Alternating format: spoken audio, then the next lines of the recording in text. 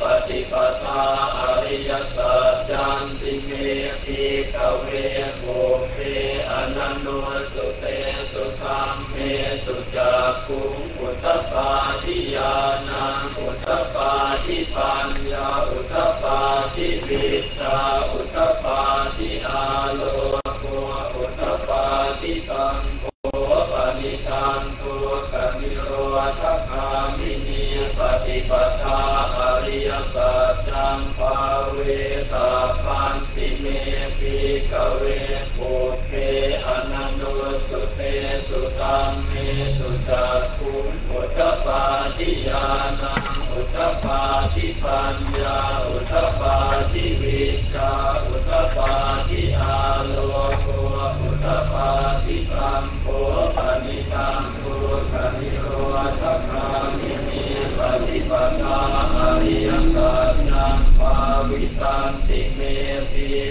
eh,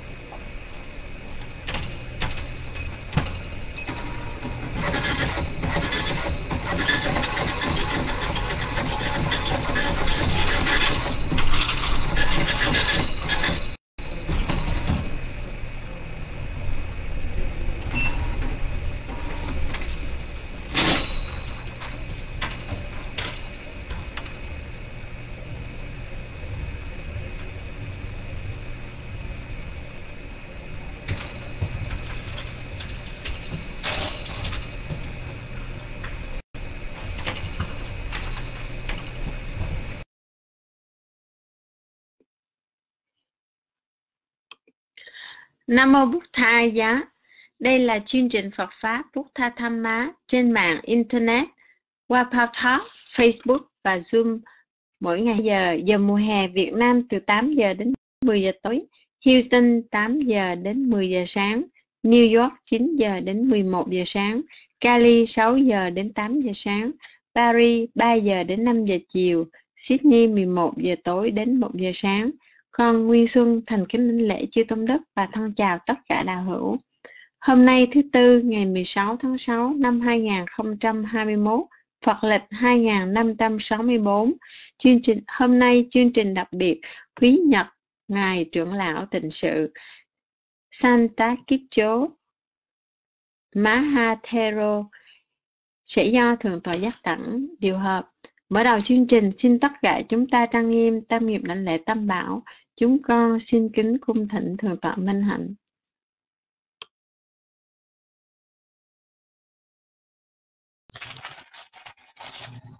Nhất tâm định lệ Đức Như Lai, bậc ứng cúng chánh viễn tri minh hạnh túc thiện thể thế gian dạy vô thượng ngữ thiền nhân sư Phật Thế Tôn nhất tâm đảnh lễ chánh pháp do Phật thiện thuyết thiết thực hiện tiền vượt ngoài thời gian, đến để chứng nghiệm hiệu năng hướng thượng trí giả thân chứng. Nhất tâm đến lễ chư tăng đệ tử thế tôn, bậc diệu hạnh, trực hạnh như lý hạnh, chân chánh hạnh, gồm bốn đôi tám vị đáng nhận lễ phẩm, thẳng phẩm, tế phẩm, kính lễ là phước tiền vô thượng trong đời nguyện cầu với đức phật bảo, nguyện cầu với đức pháp bảo, nguyện cầu với đức tăng bảo. Xin tam bảo gia hộ ngăn ngừa mọi tai ương. Những hiện tượng bất tường, những mộng mị sâu xa, những nghịch duyên trở ngại thảy đều mau tan biến.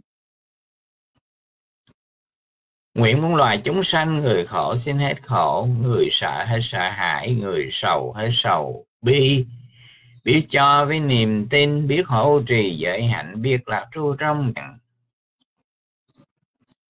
chữ thiên đã vân tập, xin tùy hỷ phước lành được các tường như ý rồi phản hồi thiên sứ. Chứ độc giác đại lực chứ độc giác đại lực, thinh văn giác đại lực, nguyện tổng trì quý đức, cầu phúc lành phát sanh. Nam mô Bút Thai giá, chúng con thành kính tri ân thượng tọa Minh Hành đã từ bi đọc kinh lễ bái tam bảo. Hôm nay chương trình đặc biệt quý nhật ngày trưởng lão tịnh sự Santakicho Mahathero. Chúng con kính cung thỉnh thượng tọa tự siêu giới thiệu chương trình hôm nay. Nam mô Bút Thai giá. Nam mô Bút Thai giá kính đại lễ thượng Tòa từ siêu đại lễ chư tôn đức. Thân chào tất cả quý phật tử. Thưa vị à, hôm nay là thứ tư, ngày 16 tháng 6 năm 2021 tính từ ngày âm lịch là ngày à, 7 tháng 5 năm Tân Sửu. Và đây là đúng ngày dỗ thứ 37 của ngài hòa thượng tinh sự. Đối với với à, lớp học Phật pháp của Dharma này, thì à,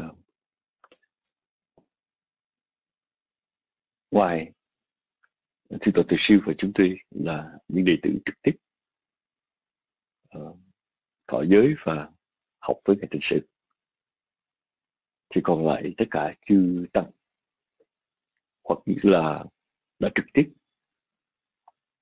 biết với ngài, hay là học trò của thế hệ thứ hai, thứ ba.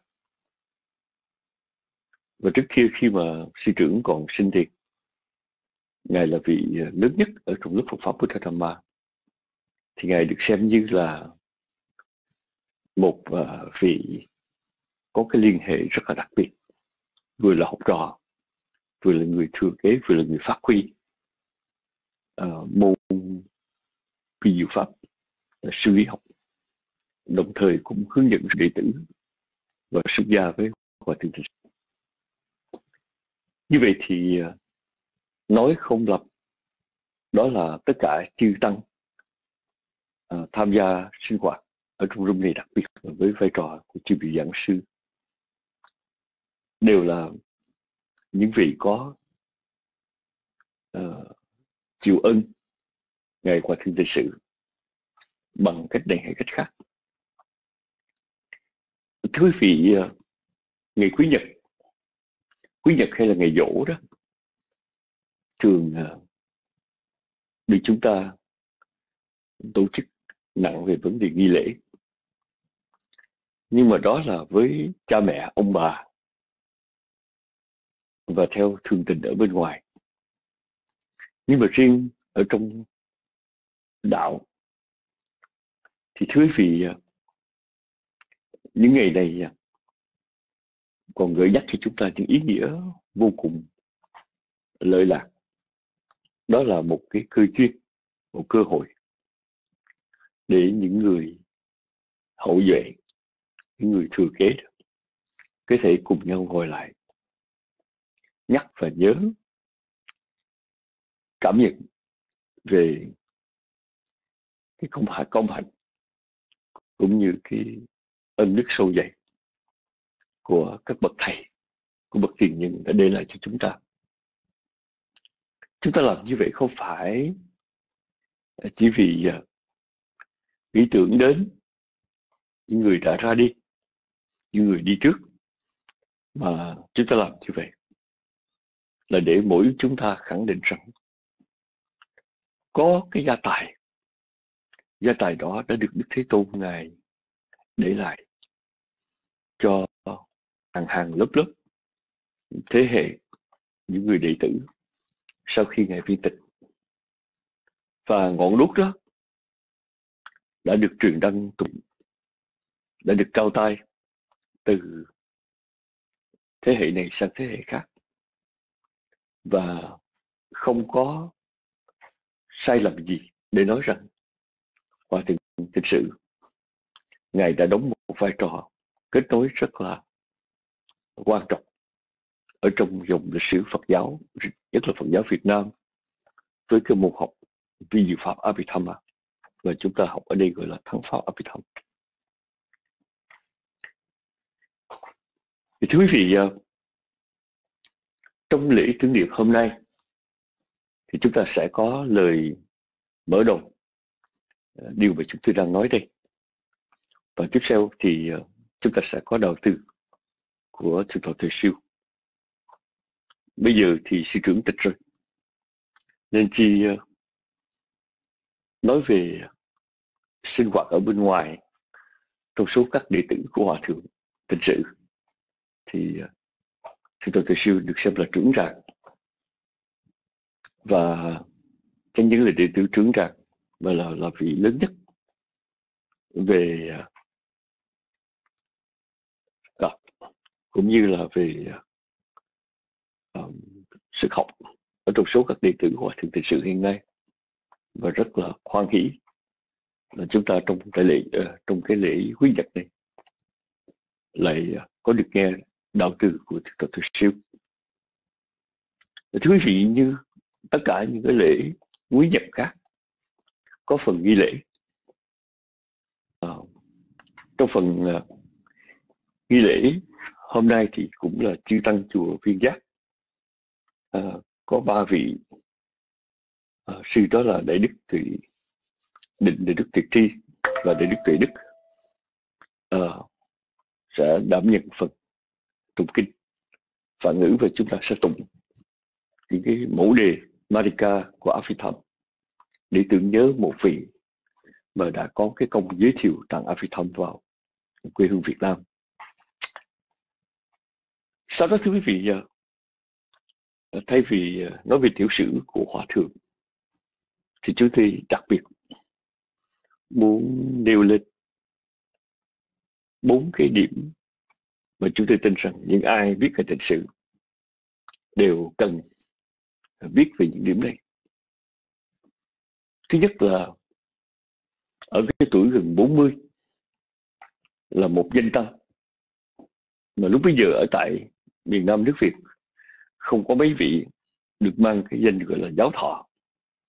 Ngài tiền sự lúc đó là một vị giáo thọ là giáo thọ huệ lực, giáo thọ, giáo thọ thích huệ lực của Phật giáo Bắc Tông. Phật giáo Đại Thừa.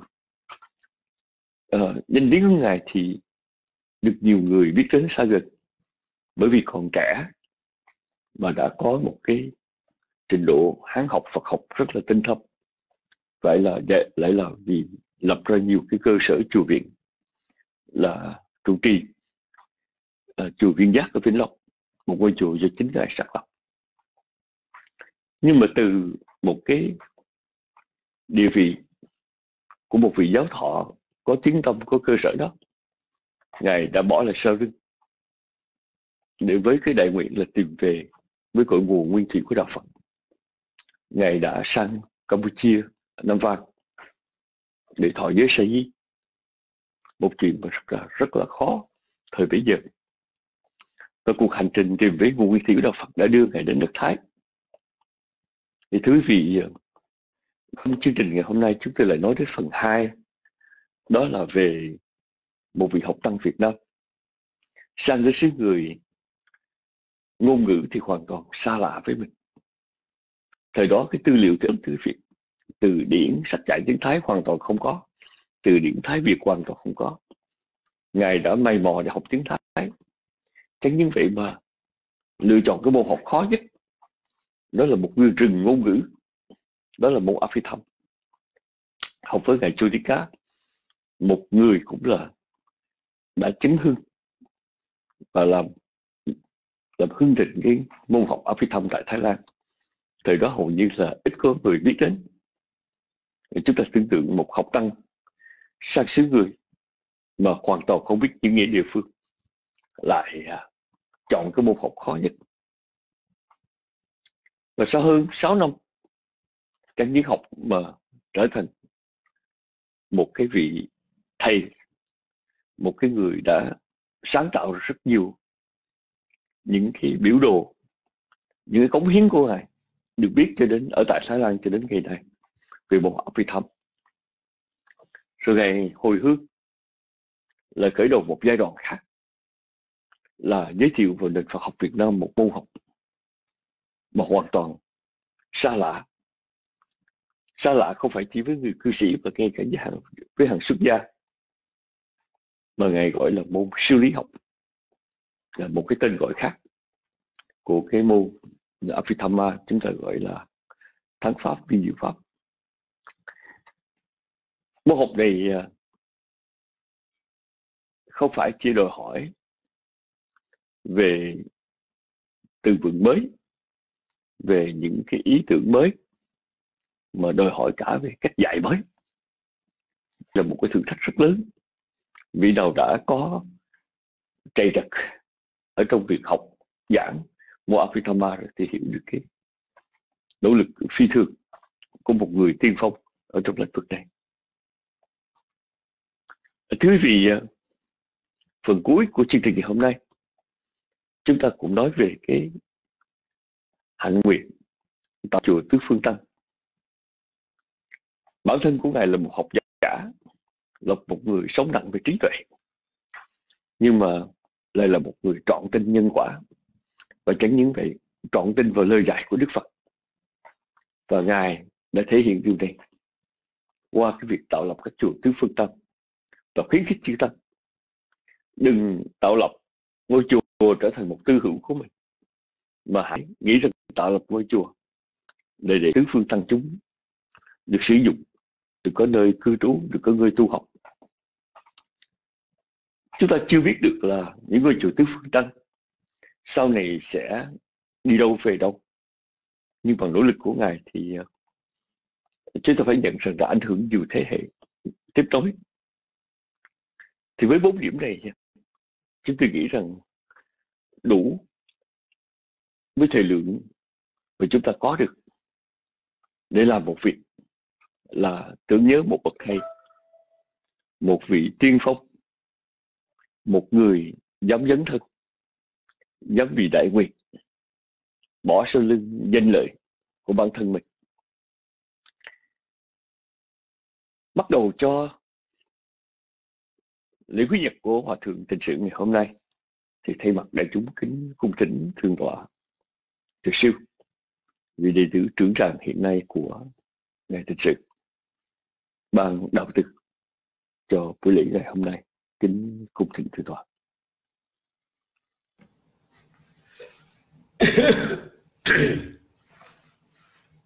Nam mô Bụt Thầy dạ.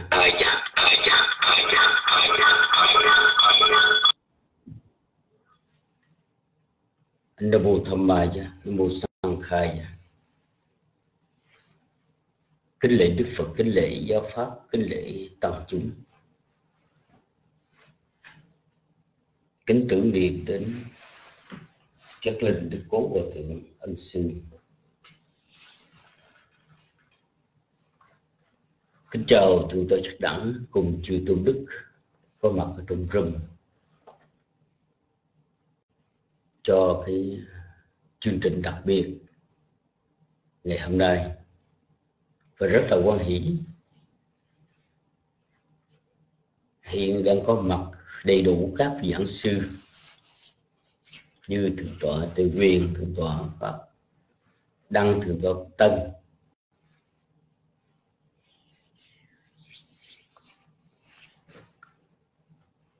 Trước khi chúng ta đi vào cái chương trình tưởng niệm ngài cố đời lão tình sự thay lời thượng tọa giác đẳng. Tiếp lời thượng tọa giác đẳng, chúng tôi có đôi điều.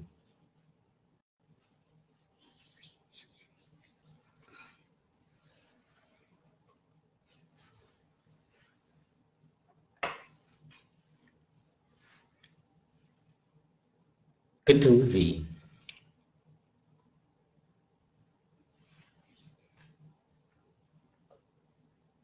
hiện nay chúng ta, trong room này chúng ta đang học về cái môn giáo trình thống pháp hay là giáo trình vi diệu pháp Abhidhamma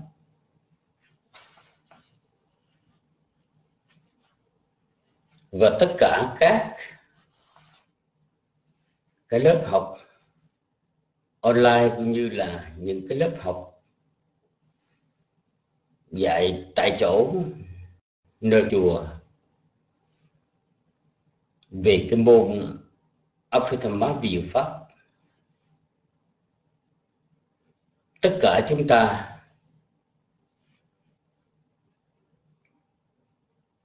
đều được nếm cái hương vị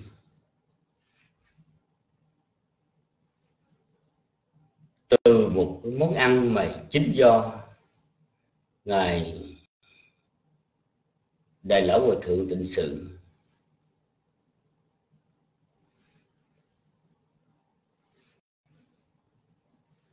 Đã đem về. Và chúng ta được hấp thụ.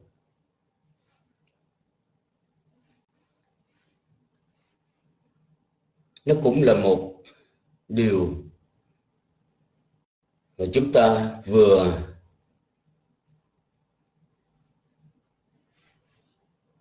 quan hỷ tự hào. Nhưng mà nghĩ lại thì chúng ta cũng vừa sót. Chúng ta quan hỷ là chúng ta đã được học cái môn học, biết cái môn học, biết cái môn giáo lý. Khó khăn khô khan, nhưng mà rất là tinh tế ở trong tam tạng kinh điển. Đó là môn vi diệu pháp. Chúng ta được học như vậy đó, được biết như vậy là do nhờ hay công của vị đại trưởng lão ngài đã đem về quảng bá tại xứ sở Việt Nam dịch toàn bộ của tạng phi diệu pháp từ tiếng Pali, tiếng Thái sang tiếng Việt ngữ và ngài đã dạy cho các vị học trò. Khởi đầu khi mà ngài dạy về cái môn học này cũng không phải là dễ dàng, thưa quý vị. Cái thời kỳ chiến tranh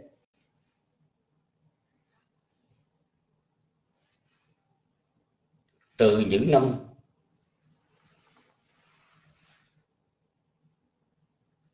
sáu mươi sáu sáu bảy. Từ năm sáu mươi trở đi, cho đến 75 suốt 10 năm, rồi sau đó, trong suốt 10 năm chiến tranh đó, thì ngài phải đi về miền Tây để làm trụ trì cái ngôi chùa.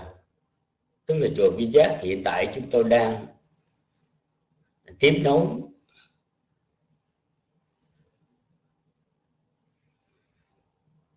Để gìn giữ. Rồi chùa xử lý vĩnh long. Rồi sau đó là người đi thành phố về thì gòn trong cái buổi đầu, buổi giao thời, ít người biết đến cái môn học này do đó ngài chỉ dạy có năm, ba người thôi. Nhưng mà ngài đã nỗ lực, đã cố gắng làm như thế nào để họ được hiểu, để họ thấy được cái giá trị của cái bộ môn of tâm kiên trì ngày dạy như vậy. Dần dần từ ba người năm người, mười người. Sau này ngài mới có được.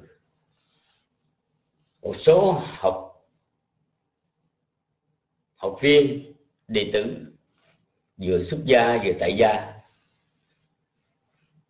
mới hiểu được cái môn và có thể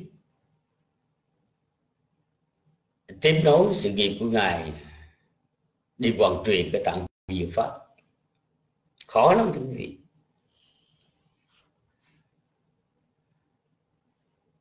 Cho nên, chúng ta quan hỷ là chúng ta được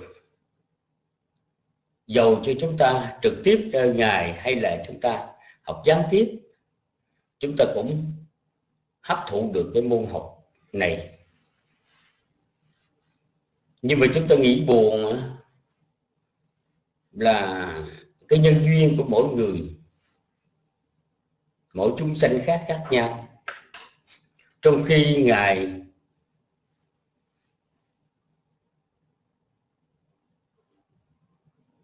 là một vị tu sĩ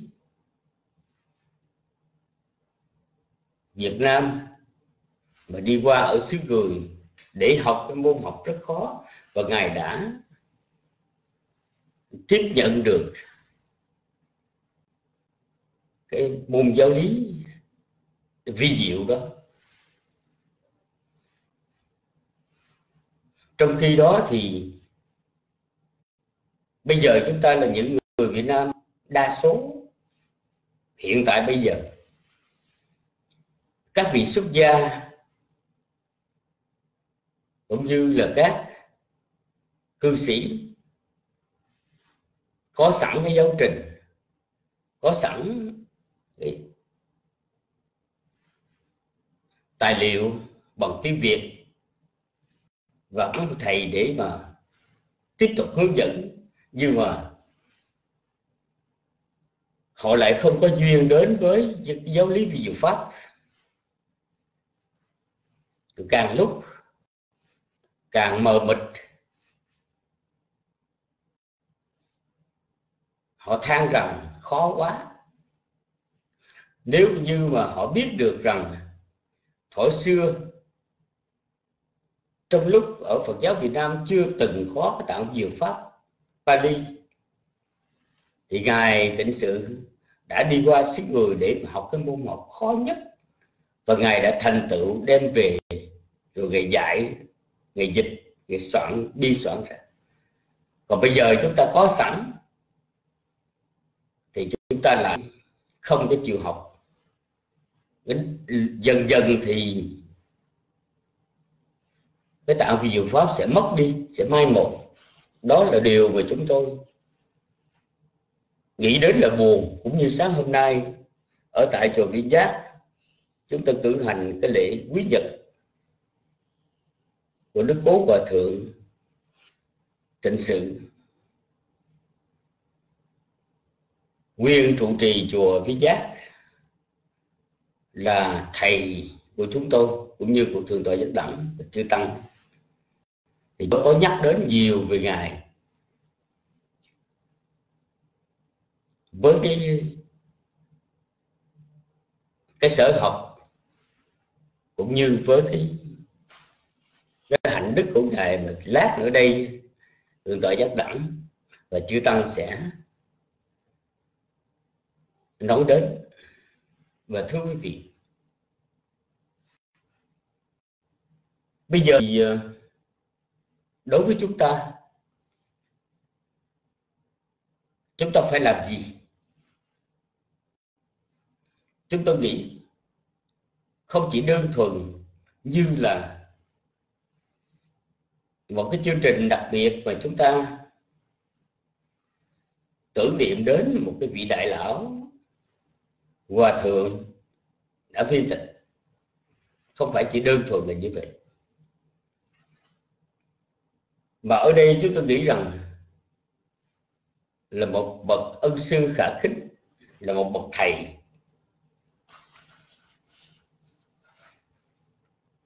Nếu chúng ta biết kính trọng cái vị thầy đó,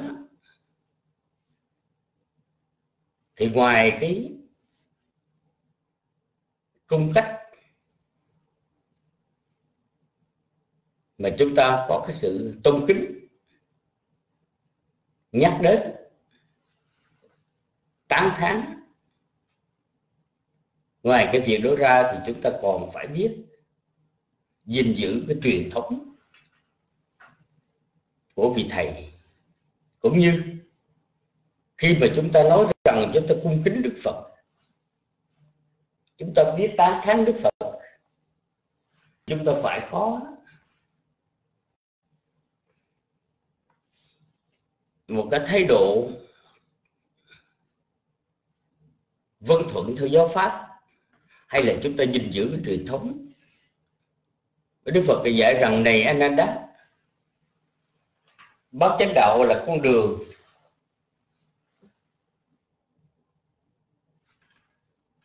trung đạo đưa đi giải thoát. Như lai đã thiết lập con đường này, đó là cái truyền thống. Các ngươi là nên đi theo con đường đó, gìn giữ truyền thống đó. Chớ là kẻ tối hậu. Vì vậy cho nên đối với trường hợp này, ngài hòa thượng, ân sư của chúng ta, ngài đã để lại cho chúng ta một kho tàng quý giá. Là bộ môn vi diệu pháp ở phía tâm.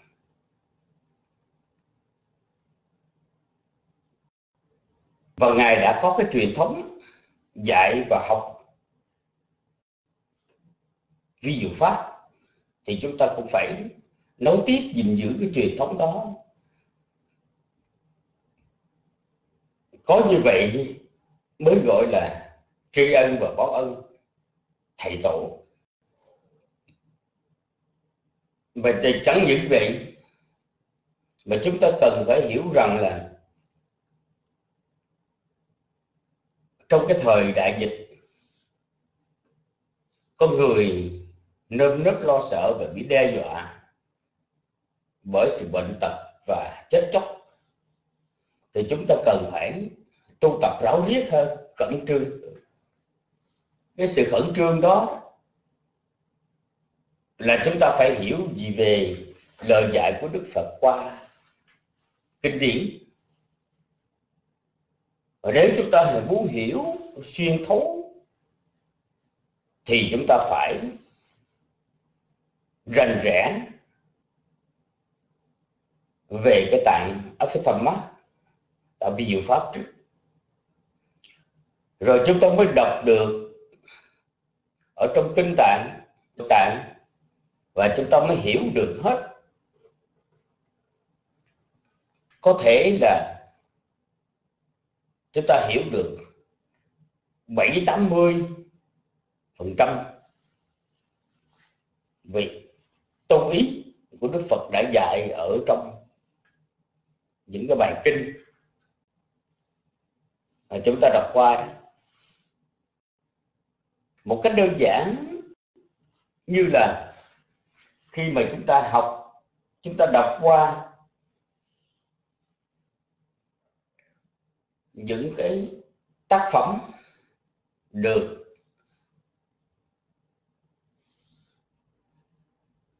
trước tác sau này, như là cái bộ thanh tịnh đạo chẳng hạn, mà chúng ta không được hiểu vi diệu pháp rồi, chúng ta đọc không có vào được, không có thấm được, không có biết được. Đừng có nói chi là trong kinh tạng hay là luật tạng bởi vậy cho nên chúng ta cần phải cố gắng nỗ lực để chúng ta học hiểu cái tạng phi diệu pháp. Và khi mà chúng ta đã học hiểu được cái tạng vi diệu pháp rồi đó, thì cứ đến cái ngày mùng 7 tháng 5 âm lịch là cái ngày kỷ niệm quý nhật của bậc ân sư. Thì lúc đó chúng ta mới cảm thấy không thẹn khi mà chúng ta là người đã gìn giữ được cái truyền thống của ngài để lại, của ngài đã tạo ra. Thì chúng tôi có một vài lời để nói chuyện với quý vị ở trong cái lời đạo từ ở buổi học hôm nay. Bây giờ thì ờ, xin cung thỉnh thượng tọa giác đẳng trở lại điều hợp chương trình là mô thoại nha.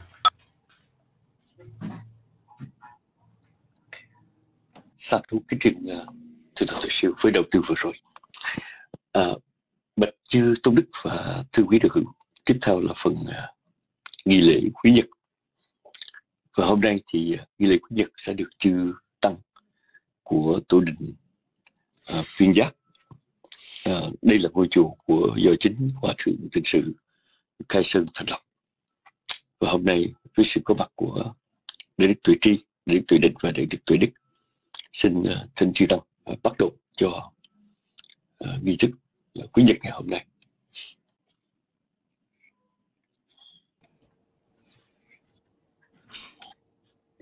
Chúng kính anh lễ chư tôn đức, kính chào đại chúng, xin phép được bắt đầu nghi thức lễ quý nhật. Kính chư tăng. Nabuta saka gawatu arahatu sama sambuta sanamu ta saka gawatu arahatu sama sambuta sanamu ta saka gawatu arahatu sama sambuta sanamu อิติปิโสภะคะวะระหังสัมมาสัมพุทโธเวชาจารณะสัมปันโนสุขโตโลกวิโยอนตารโรปุริสดัมมสารติสัทธาเดวมโนุสานังโพโทภะคะ ติตังอรหันติกุณสังโยตังหัวธังสิรสานามามิตังจะโพธังอิเมหิสังการเรหิอภิโมจายามิ Swakato Bhagavata Dhammo Sandetiko Akaliko Ehipasiko Opanayiko Pachatang Veditapo Vinyo Hititang Swakata Tiguna Sangyutang Dhammang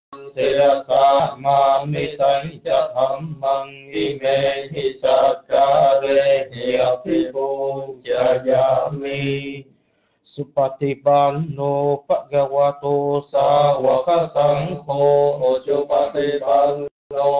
สวะโตสาวกสังโฆญาญาปฏิบันโนภะควะโตสาวกสังโฆสามิจิปฏิบันโนภะควะโตสาวกสังโฆญาริดังจาตาริปุริสายุกานิยาตาปุริสบุกลาเอสะภะควะโตสาวกสังโฆอาหุไนโยบาหุไนโย đa khi này vô anh cha đi karani vô anu tarang bốn nhà khe tăng lô ca sa ti tăng sa pa ti ban na di guna sang vô tăng sang khăn si ra sa na ma mi tăng cha sang khăn y me hi sa ca re hi a phi mu cha ya mi.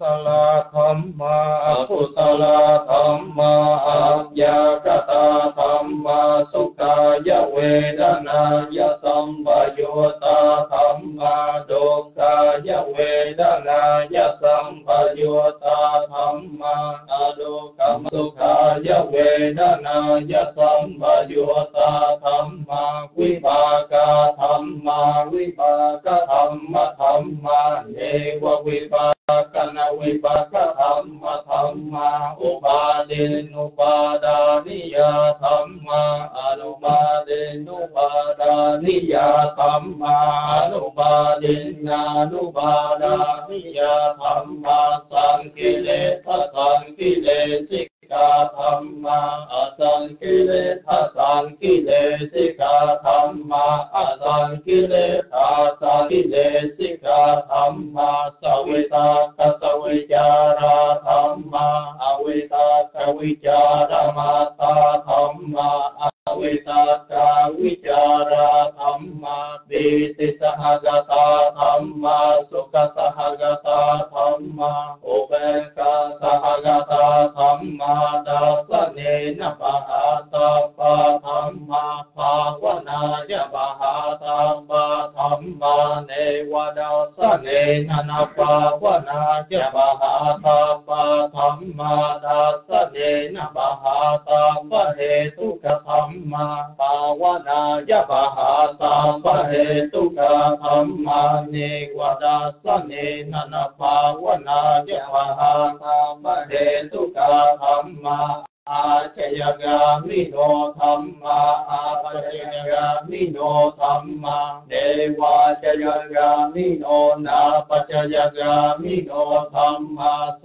กาธรรมาอาเสกาธรรมาเนวเสกานาเสกาธรรมาปริตาธรรมามหากตาธรรมา ปมานาธรรมาปริตารัมมนาธรรมามหากตารัมมนาธรรมาอัป na ram na tham ma hi na tham ma ma chi ma tham ma ba ni ta tham ma me cha ta ni ya ta tham ma sam ma ta ni ya ta tham ma ani ya ta tham ma ma ga ram na tham ma ma ga he tu ka tham ma ma ga ti pa ti no tham ma om ban na tham ma anom ban na tham ma om นิยตาธรรมามักการัมมนาธรรมามักกะเหตุกาธรรมามักกาติปติโนธรรมาอมบันนาธรรมาอนุมบันนาธรรมาอวานิโนธรรมาอธิตาธรรมาอนาคตาธรรมาปัจจุบันนาธรรมาอธิตารัมมนาธรรมาอนาคตารัมมนาธรรมาปัจจุบันนารัมมนาธรรมาอาจตาธรรมาปฏิทาธรรมาอาจตปฏิทาธรรมาอาจตารัมมนาธรรมา ปฏิทารัมมนาธรรมาอาจตปฏิทารัมมนาธรรมาสนิดาสนะสัพปติกาธรรมาอนิดาสนะสัพปติกาธรรมาอนิดาสนาติกาธรรมาภาเวสติติกมาติกาธรรมสังกติปะการนังนามสมาตัง ตรนันตรังวิพังกาปะการนังนังเอตังขั ขั น น ธ ธวิพังโกอายตนะวิพังโกธาตุวิพังโกสัจจวิพังโก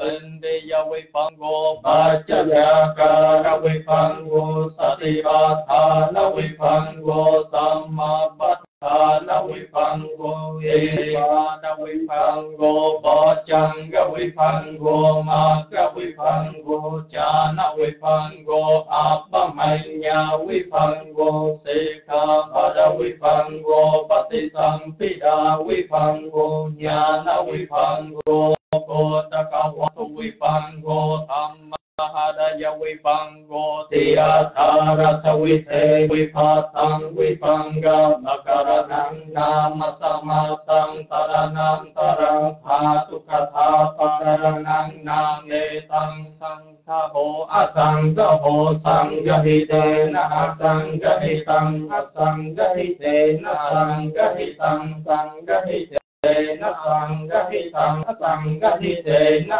Sanghahitang Sam ปโยโกวิปโยโกสัมปยเตนะวิปยุตังวิปยเตนะวิปยุตัง ตังสังกทิเตนะสัมปยุตตังวิปยุตตังสัมปยุตเตนะสังกทิตังอสังกทิตังอสังกทิเตนะสัมปยุตตังวิปยุตตังวิปยุตเตนะสังกทิตังอสังกทิตังติจุตสวิเตนะวิปตังธาตุกะถาปะการังนามสมาตังตระนันตรังบุกกลัปัญญาติปะการังนามyu tăng vi pa yu tăng vi pa yu te na sang ca hi tăng a sang ca hi tăng tích chu ta sa vi te na vi pa tăng tha tu ka tha pa ka ra năng na ma sama tăng ta ra năng ta rang bu ga la ban ya te pa ka ra năng na เนสาคันธาปัญญาติยายตนาปัญญาติธาตุปัญญาติสัจจปัญญาติอินเดียปัญญาติบุคลาปัญญาติทิจวิเทนวิปัตตังบุคลาปัญญาติปกรณังงามสมาตังตรนังตรังกถาวาทมปกรณังนางเอตังสักวาสักวาติปัญจสุตตสตานิปาริ วาตบัยจะสุตสตานิตสหัสสังสัมโมทาเนตวนวิปัตตังกตาวาโทปกรณังนามสมาตังตดานันตัญญมกะปกรณังนาเนตังมูลยมกังขันทยมกังอายตนะยมกังอาตุยมกัง tăng bồ la ya ma cần thành tha ya ma cần à ya ta ya ma cần à tu ya ma cần sa cha ya ma cần sang kha ra ya ma cần anusaya ya ma cần chi ta ya ma cần hầm ma ya ma cần en pi ya ya ma cần ti ta sa vi thể na vi pa tăng ya ma ka ba ka ra na ma sa ma tăng ta ra nang ta rang ma ha ba tha na ba ka ra na me tăng he to ba cha yo aram งนาเมตังเหตุปัจจโยอารัมมณปัจจโยอธิปติปัจจโยอนันตระปัจจโยสมานันตระปัจจโยสัจจตปัจจโยอัญญมัญญปัจจโยเนสยปัจจโยอุปนิสยปัจจโยปุเรจาตัมปัจจโยปัจจจาตัมปัจจโยอาเสวนาปัจจโยกัมมัมปัจจโยวิปากปัจจโยอาหาร าปัจจโยวินวิยาปัจจโยจานาปัจจโยมักกปัจจโยสัมปโยตัมปัจจโยเวนปโยตัมปัจจโยอาเทนปัจจโยนาเทนปัจจโยวิกตัมปัจจโยอวิกตัมปัจจโยติปัจจเส cho yang wa se na ta cho tu vi sa ti vi the na vi pa tăng ma ha ta ta na ba ka ra nang na sa ma tăng. महाकरुणिको नाथो हिताय स पपानि नो रे त्वा भारमे सा สมาตังมหากรุณิโกนาโทหิตายสัพปปานินังโพเรโตบารมีสัพปะปะโตสัมโพธิโมตมังเอเตนะสาจวะเจนะโหตุเตจยมังกลังจยันโตโพธิยาโมเลสักยานังนันติวาทโนเอวันกังวิชโยโหทิจยาสุจยมังกเลอปาราชิตปันลังเกสีเสปะตะวิบอกคะเรอภิเสกเกสัมภะทานังทังกัมปัน โตปะโมปฏิโสนาคาตังสุมังกลังสุภฟาตังสุโหติตังสุขโลสุโมโหโตจะสุยิทังรัมมจาริสุปดาคินังกายกรรมังวาจากรรมังบาราคินังบาราคินังมโนกรรมังมณิทิเตบาราคินาบาราคินานิกาตวานาลปันตาเทบาราคิเน Bhavantu sapa manggalang Bhavantu sapa dewata sapa bhota Nupa vena sada soti Bhavantu te bhavantu sapa manggalang Rakantu sapa dewata sapa dhamma Nupa vena sada soti Bhavantu te bhavantu sapa manggalang Rakantu sapa dewata sapa sangha Nupa vena sada soti ภาวันตุเต thưa kính bạch quý ngài kính thưa quý vị khóa kinh lễ quý nhật của ngài trưởng lão tự sự chúng con vừa đã tụng xong bây giờ kính cử thịnh thường ngày giác đặng quay trở lại kính uh, chư tăng chùa tổ đình phiên giác vĩnh long đã thực hiện cho phần nghi lễ của quý nhật để là hòa thượng thực sự hôm nay à, thưa quý vị à, tiếp theo, xin được à, cung thỉnh à, thượng tọa pháp đăng để có một vài cảm nghĩ về một vị giáo thọ. Thời đó chúng ta nói rằng thập niên 40 50 không có bao nhiêu vị tăng ở miền Nam, Việt Nam được gọi là giáo thọ, nhưng mà ngài giáo thọ Huệ chỉ mới 35 tuổi, còn rất trẻ danh tiếng vang xa có cơ sở chùa viện mà là từ bỏ tất cả để lên Nam Vang đi tầm về đạo Phật Nguyên Thủy và xuất gia Sa Di ở tại Phnom Penh rồi sau đó sang Thái được tu tỳ kheo. À, điều này à, được cảm nhận như thế nào? Xin uh, kính thỉnh thì tọa pháp đăng à, uh, khoan hỷ uh, uh, chia sẻ một vài suy tư của thư tọa về điểm này. Kính cung Ờ, kính cung thỉnh thượng tọa xin hỏi thượng tọa ờ, pháp đăng có nghe được không? Ờ, Thưa quý vị có lẽ là thượng tọa pháp đăng không có mặt ở trước máy. Thượng tọa pháp tân ơi thượng tọa pháp tân có mặt ở máy không? Nếu thượng tọa pháp tân nghe được xin thượng tọa hoa kỳ cho biết. Thượng tọa tư quyền ấy à, thì tọa tư quyền có mặt ở trước máy và có nghe được không? Dạ dạ kính cung thỉnh thượng tọa tư quyền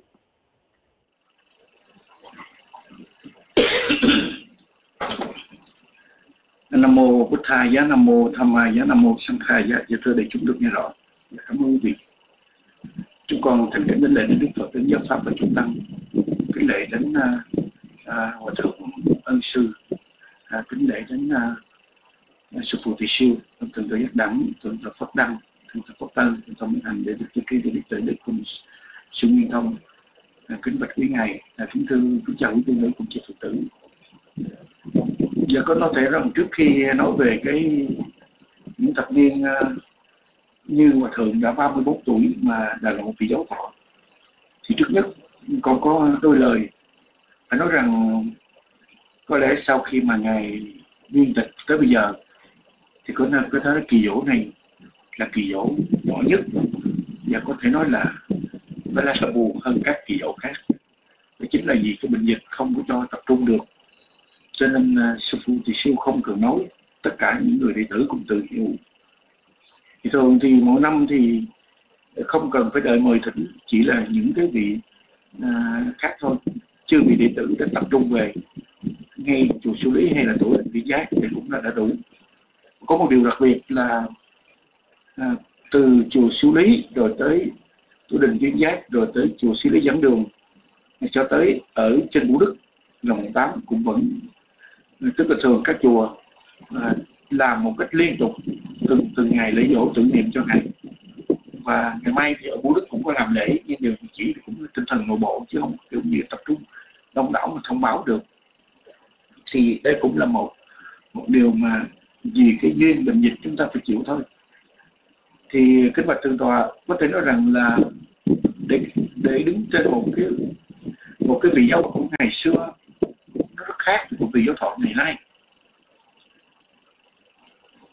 khi con nói như vậy là bởi vì chính con đã đã đi làm một vị giáo thọ ở các trường.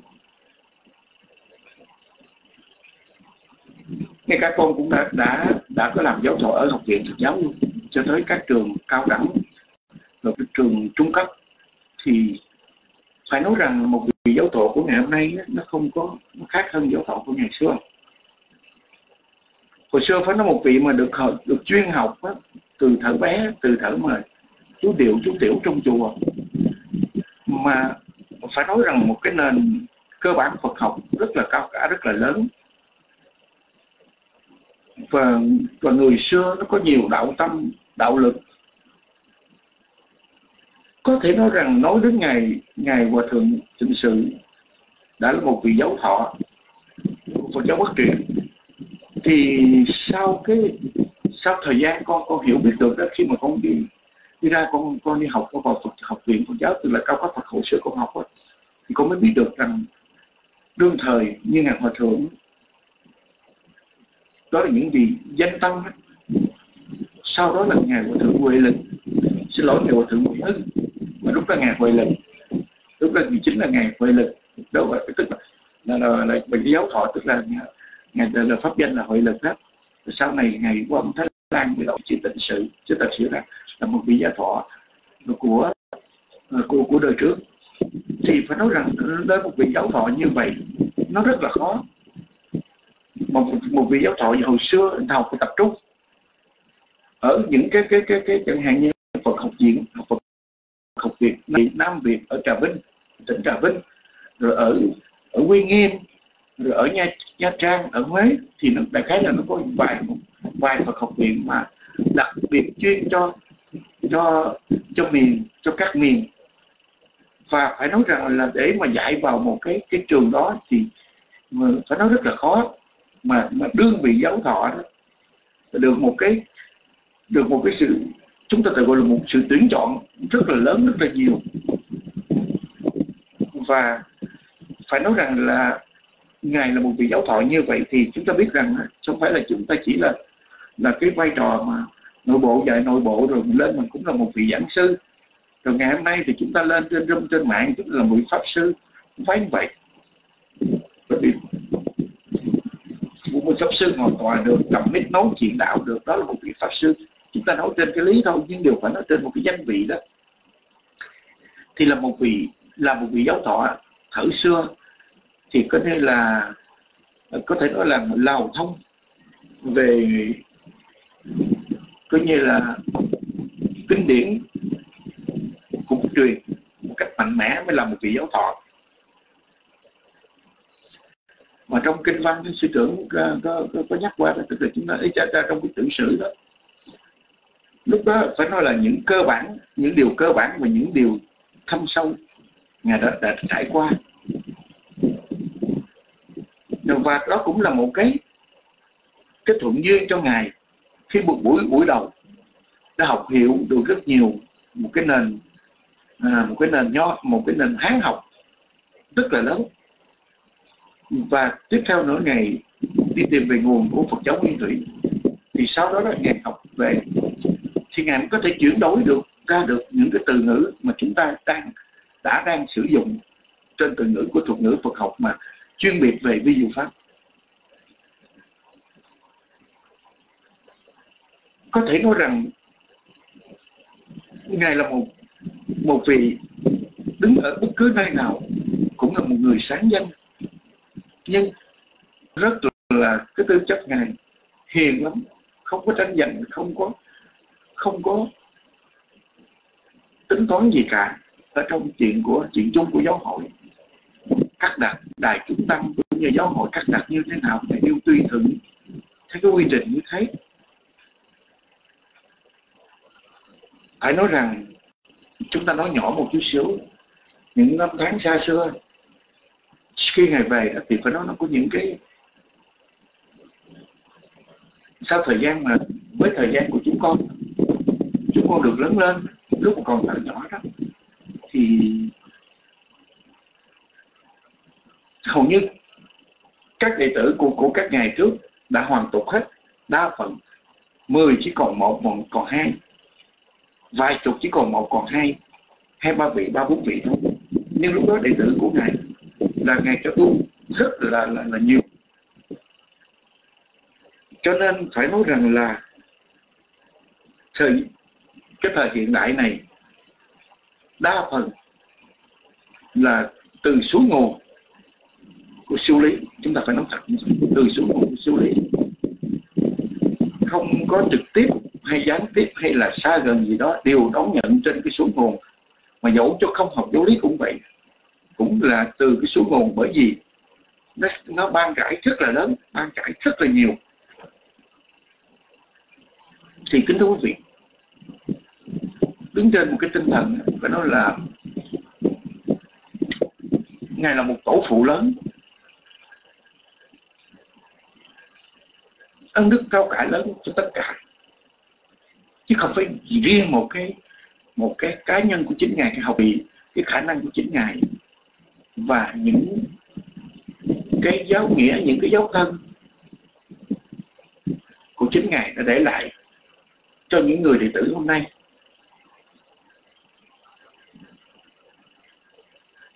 Bằng những cái sự tự nguyện, những với những người đệ tử không bắt buộc, không ép buộc một ai, phải như thế nào cả, đến với ngài phải như thế nào. Nhưng ngài luôn luôn khuyến học, khuyến tu cho tất cả.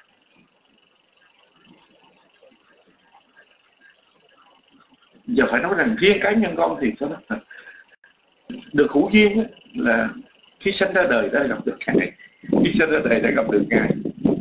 Và chư phật tử có biết rằng ngày hôm nay nếu một vị giảng sư mà dạy cho chúng ta mà chỉ chúng tôi ba người vì đó có thể dạy được không? Hình như là khó. Mà ngài là một vị pháp sư đại tài, vị giảng sư như vậy. Mà ngày về về nhà của con dạy chỉ có ba, bốn người đệ tử. Ở trong đó có má của con. Ngày truyền đạo đi cách đó khoảng chừng hai chục cây số mà tuần nào cũng vậy cũng đi về để dạy. Như là một vị giáo thọ của trường.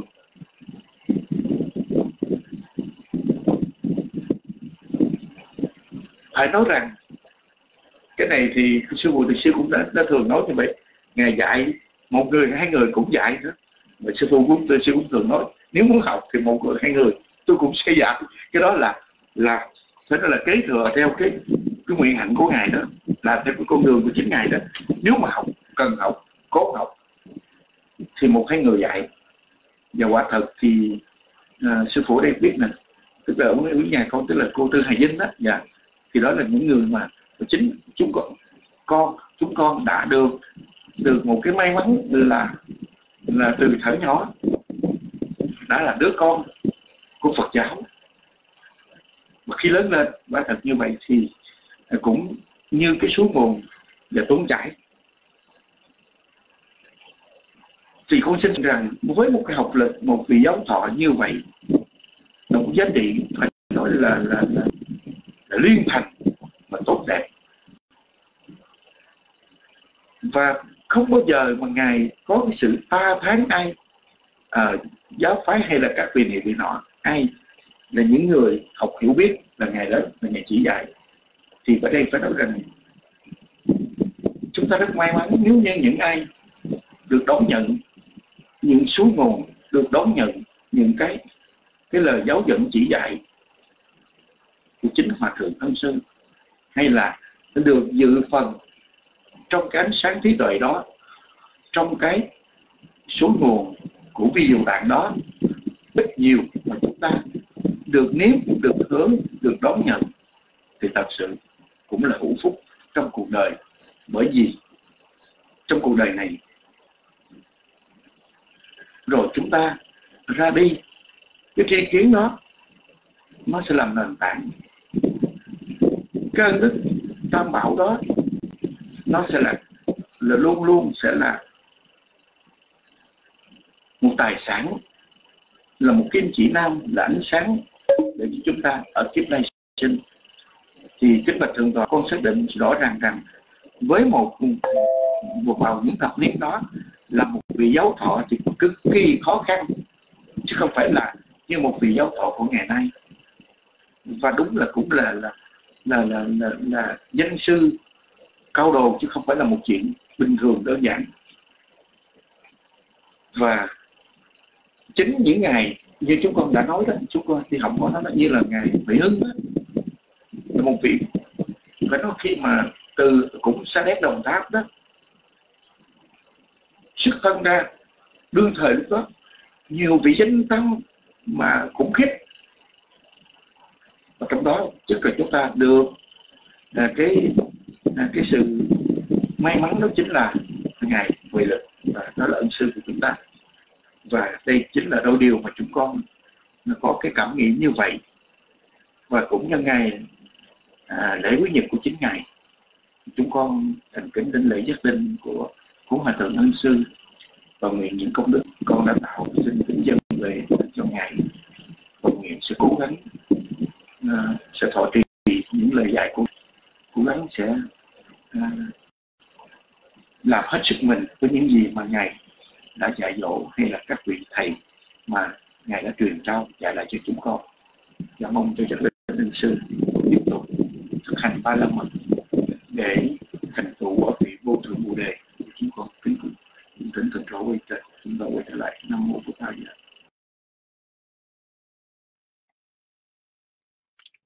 sa thú trưng à, tiếp tục thỉnh nguyện thưa vị uh, một điểm mà uh, đôi khi chúng ta ngồi nên nghiêng ngẫm lại đó là với một vị mà đã có học vị đã có danh vị địa vị cao trọng như là một vị giáo thọ có chùa chiền cơ sở đệ tử. Và lại để lại sau lưng tất cả để lên đường sang một xứ mà ít có ai nghĩ đến là Campuchia và để tìm về cái suối nguồn của đạo Phật Nguyên Thủy và ở tại Phnom Penh ngày thọ Sa Di. Thì thứ vị đó là một chuyện không có đơn giản đâu không có tầm thường. À, đôi khi chúng ta phải nghiệm lên chuyện này để chúng ta thấy rằng à, những cái có những bậc ở trên đời này gọi là biết buông bỏ dám buông bỏ và sẵn sàng buông bỏ buông bỏ những cái khó buông bỏ tức là làm cái khó làm mà. Thành ra đó là một điều mà không đơn giản à, để một người bình thường có thể cảm nhận được. Và tiếp theo thì xin ờ, được hỏi là không biết thượng tọa pháp ờ, đăng hay ờ, thượng tọa hợp tân như vị thượng tọa có vị nào ở trước máy và nghe được xin quý ngài uh, cho biết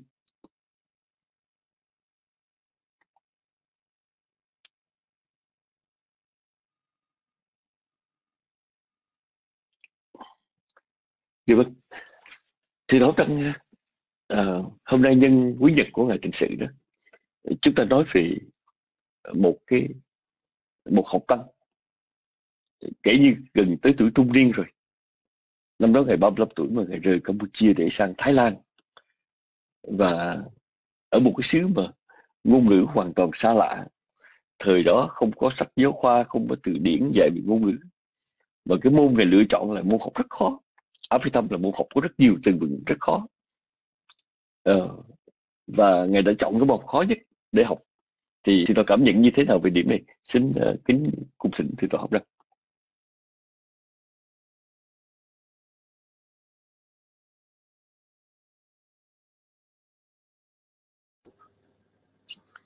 Hello.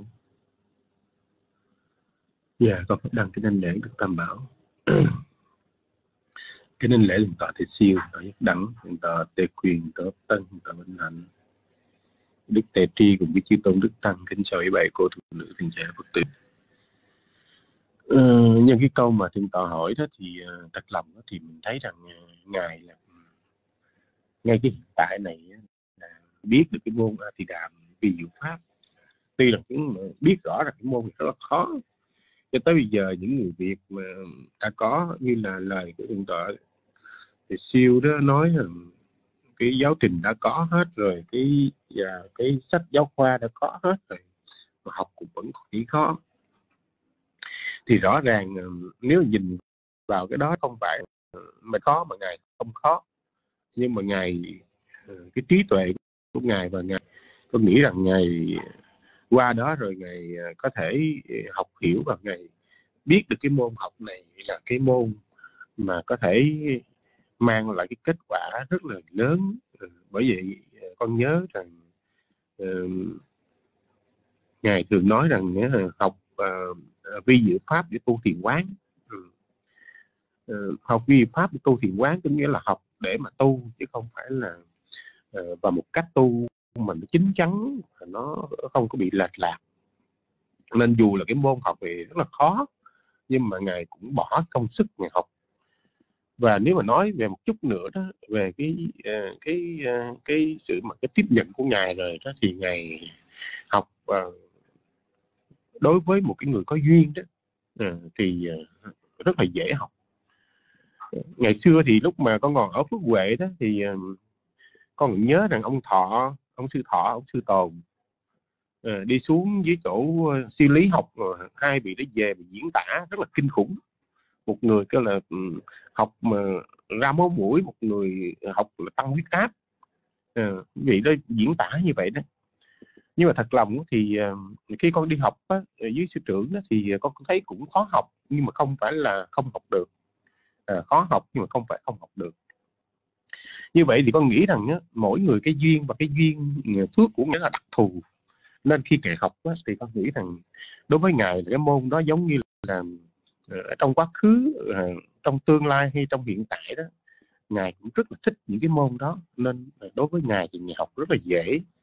Và với cái hạnh nguyện để mà trở thành vị chánh đẳng chánh giác thì ngài uh, uh, tiếp thu và ngài làm cho cái cái pháp nó trở thành hiển lộ trong cái hành trình ờ, chánh giác của ngài đã nghĩ rằng ngài hành trì như vậy nhưng mà đối với một cái người mà ờ, một cái người mà ờ, nói về số số đông người đó, thì cái số đông đó thì mình cũng thấy rằng thật sự nếu cái số đông mà cho đến bây giờ đó thì học mà giỏi được như ngài thì chắc có lẽ là cũng không có tìm thấy được Ừ vì ngài một vị mà có nghĩa là có duyên lành và ngài có cái cái tận tâm mà à, bỏ hết à, cái thời gian vào cái môn học à, mình nói phải nói chung là như vậy ngài gần như là ngài bất luận lúc nào ngài cũng bỏ cái tâm tư của ngài vào trong cái môn học à. nên chính vì vậy đó những cái đó làm như là đã nằm lòng ngài đã thuộc hết những cái đó trong lòng của ngài à, trong tâm của ngài vì ngài đã thường học thường thường suy tư như vậy như vậy nên khi mình nói ờ, về cái tiểu sử của ngài đó, ngài là một cái vị mà giống như là cái máy vi tính vậy ừ. có nghĩa là lập trình ờ, rồi thì nó không bao giờ mất đi ừ. thì giống như vậy ừ, nên khi mà nói đến ờ, ngài hòa thượng đó thì ngài quá là quá là xuất sắc trong cái vấn đề về, về cái học một cái cách học và cái cái tâm tư của ngài và với cái cái chí nguyện của ngài nên ngài đã trọn chọn trọn gói trọn ở trong cái cái cái, cái môn học. Uh, nên con nghĩ rằng nhá, nếu mà nói về uh, hiện tại bây giờ đó thì cũng có những cái vị uh, học uh, theo ngài. Uh, nhưng mà nói nếu mà mà như ngài đó thì chắc cũng lẽ rất là khó bởi vì lúc con ở sư trưởng thì sư trưởng cũng có nói ờ, ngài có thể dạy ờ, sơ cấp trung cấp cao cấp ờ, trong vòng chừng tuần lễ là ngài có thể dạy xong hết. Cho đến giờ thì con nghĩ là chưa có ai chưa, chưa có ai dạy cái kiểu đó.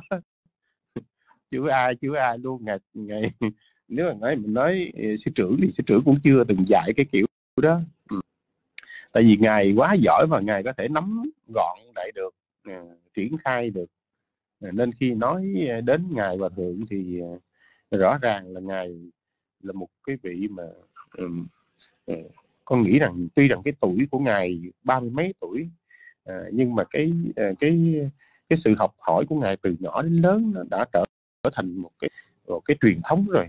Vì ngài mới có ba mươi mấy tuổi và ngài đã làm giáo giáo thọ sư bên Bắc Tông và ngài dạy, ngài đã thấy mưu tưởng rồi thì có lẽ là ngài cũng rất là đặc biệt Ờ, ngài ờ, tìm tòi ngài thấy và ngài đã dám bỏ hết tất cả để làm lại từ đầu.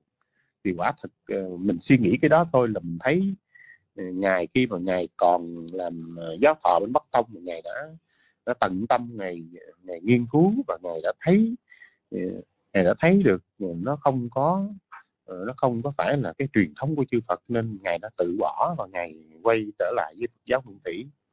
Như vậy thì rõ ràng một cái người mà một cái người mà trọn tâm ờ, trọn cái tâm của mình vào cái cái môn học đó, thì rõ ràng nó sẽ là một người gặt hái được cái lớn lao ở trong cái môn học đó.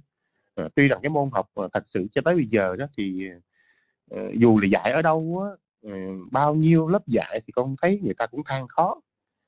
Có ít có nhiều gì cũng thấy là lớp học thì không có, không lúc nào không nghe người ta nói khó quá thật là thật lòng là như vậy. Ờ, tại lúc trước con ở siêu lý con cũng học uh, mấy lớp nữa nhưng mà thật sự đó khi học đó, thì uh, mọi người cũng đều nói như vậy hết. Ừ, mọi người cũng đều nói như vậy.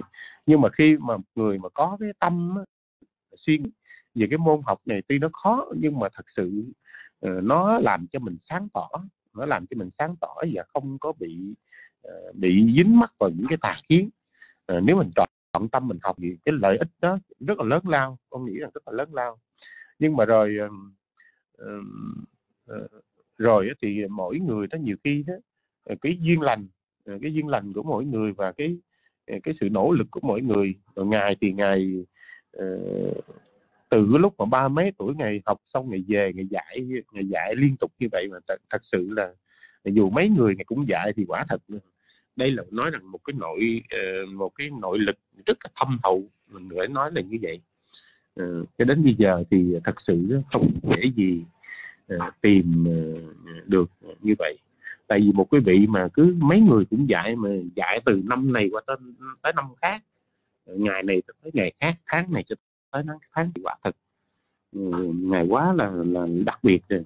Ừ. Thì, theo con con cảm nhận mà, mà khi mà ngài ờ, nói ờ, nếu mà nhìn vào cái gương của ngài nếu mà mình một cái ờ, cái điều mà rất là lợi ích cho bản thân của mình và cũng để làm gương chính cái gương của ngài nên ảnh hưởng đến cái hàng đệ tử của ngài. Cho đến bây giờ như là mấy mấy ngày hòa thượng như ngày hòa thượng nhất giới hay là ngày hòa thượng nhất đẳng à, thì con thấy rằng ờ, thật sự là ảnh hưởng ừ, cái ảnh hưởng từ nơi cái cái cái cái tận tâm của ngài mà bây giờ thì con thấy luôn cả lúc sư trưởng còn cũng vậy. Ừ.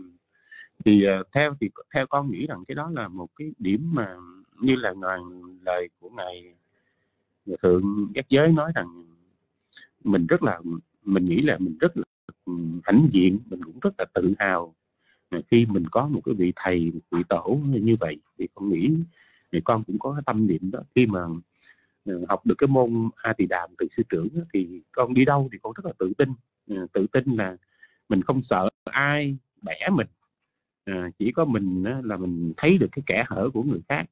Chứ còn bản thân ừ, của người khác thì rất là khó tìm được cái kẻ hở mà khi mình đã học được cái cái môn phi diệu pháp này thì đây là vài ờ, một vài điều mà con cũng xin chia sẻ với cái câu hỏi của ờ, của ờ, người dắt đẳng. Bây giờ thì con xin gửi mic lại.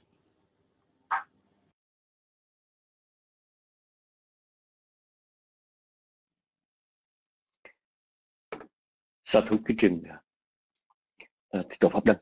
À, bạch chi tôn đức và thưa quý phật tử à, ở trong phần thứ ba của Ờ, những uh, điều mà chúng ta ờ, suy nghiệm về hòa thượng thực sự đó là uh, tiên phong ở trong cái môn học uh, siêu lý ở tại Việt Nam. Thưa quý vị uh, ngày hòa thượng thực sự ngày có một cái uh, đặc điểm vào thời của ngài đó là như chúng ta biết rằng cái chế độ thuộc địa của pháp lúc mà sắp à, tàn ở tại Việt Nam thì à, cũng là cùng lúc có phong trào mà sau này các sử gia ghi nhận gọi là phong trào à, chấn hưng Phật giáo. À, ở ngoài miền Bắc á, thì có à, hòa thượng Tố Liên thượng Trí Hải. Ở ngoài Trung thì có à, bác sĩ Lê Đình Tháp hòa thượng Trí Độ à, ở trong miền Nam thì có hòa thượng Thánh Khánh Hòa pháp sư thượng chiếu thượng chiếu vân vân. Thì một loạt à, những cái vị à, danh tăng của Bắc Tông à, trong đó có nỗ lực xuất bản tạp chí viết sách à, đẩy mạnh cái phong trào gia đình Phật hóa võ phổ tức là tiền thân của uh, gia đình Phật tử Việt Nam. Rồi uh, ra những tạp chí như từ bị âm nhưng mà riêng về ờ, hòa thượng thực sự ở trong một cái tư cách là một vị giáo thọ.